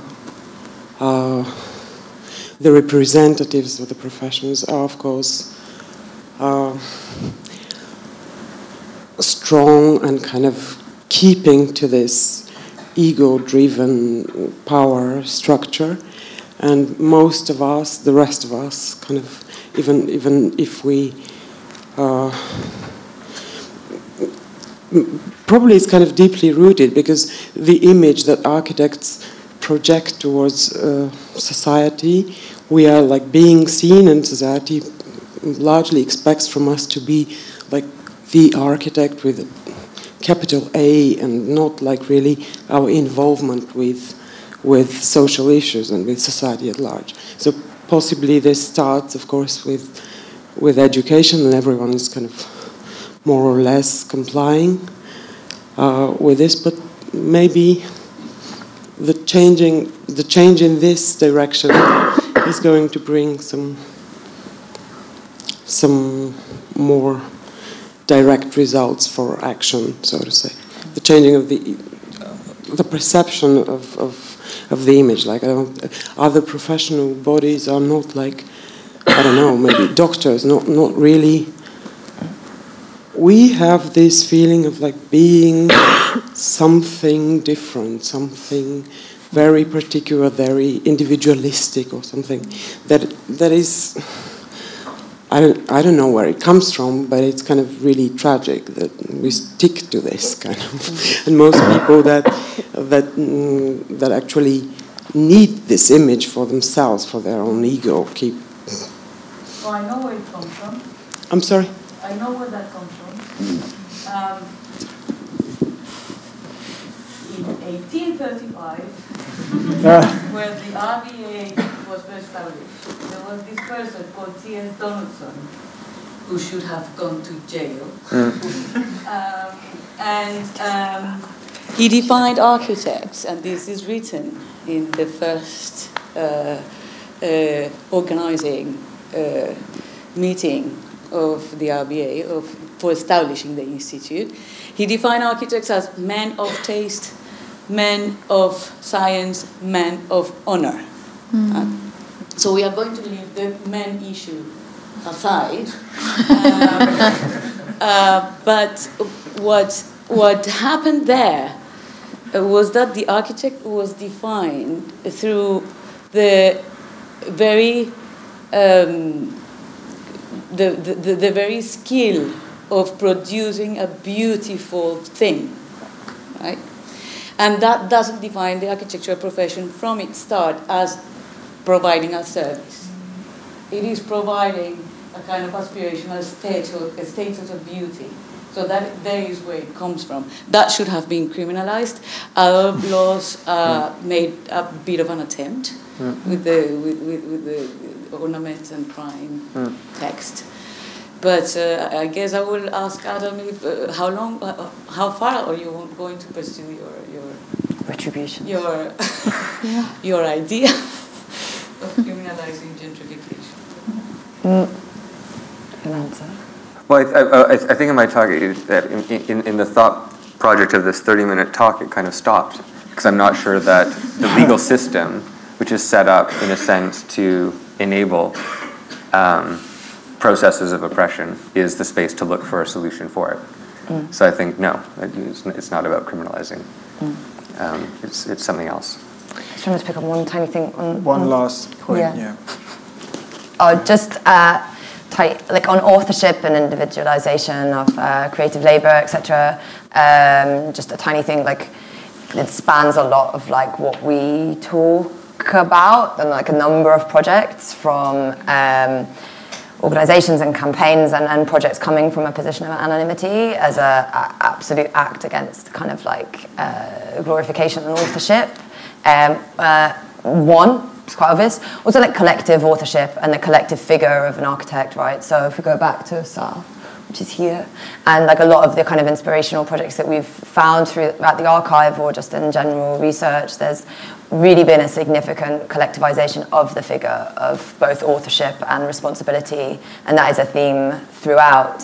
Um, and I think that should be, I think everyone should kind of uh, consider in, in their minds exactly how to kind of go about uh, that in their future and in, in their practices, how to kind of collectivize authorship and collectivize then responsibility, but also like possibility and all these other things. I think that it's a, it's, a bit of a nuanced discussion, but uh, yeah, I definitely notice in these projects there's always been a collective figure, and I think that's really, really important actually, and it's definitely important in uh, what collective organisation we might need to do to achieve any of the things that we're talking about, to get campaigns, to get demands, to get other things at the forefront, and not those people who are responsible for them, you know at the most like a retrospective where someone mentions it and it ends up in a pamphlet that our little mini us's in five years, 50 years might find, but like Max this is not about that. Um, and all action mentioned today is not about that, right? So. Can I suggest that we continue our thought experiments next door with the book launch and maybe the alcohol will help with more collective action. Great. um, before we go, could we have a round of applause for our panel? Thank you.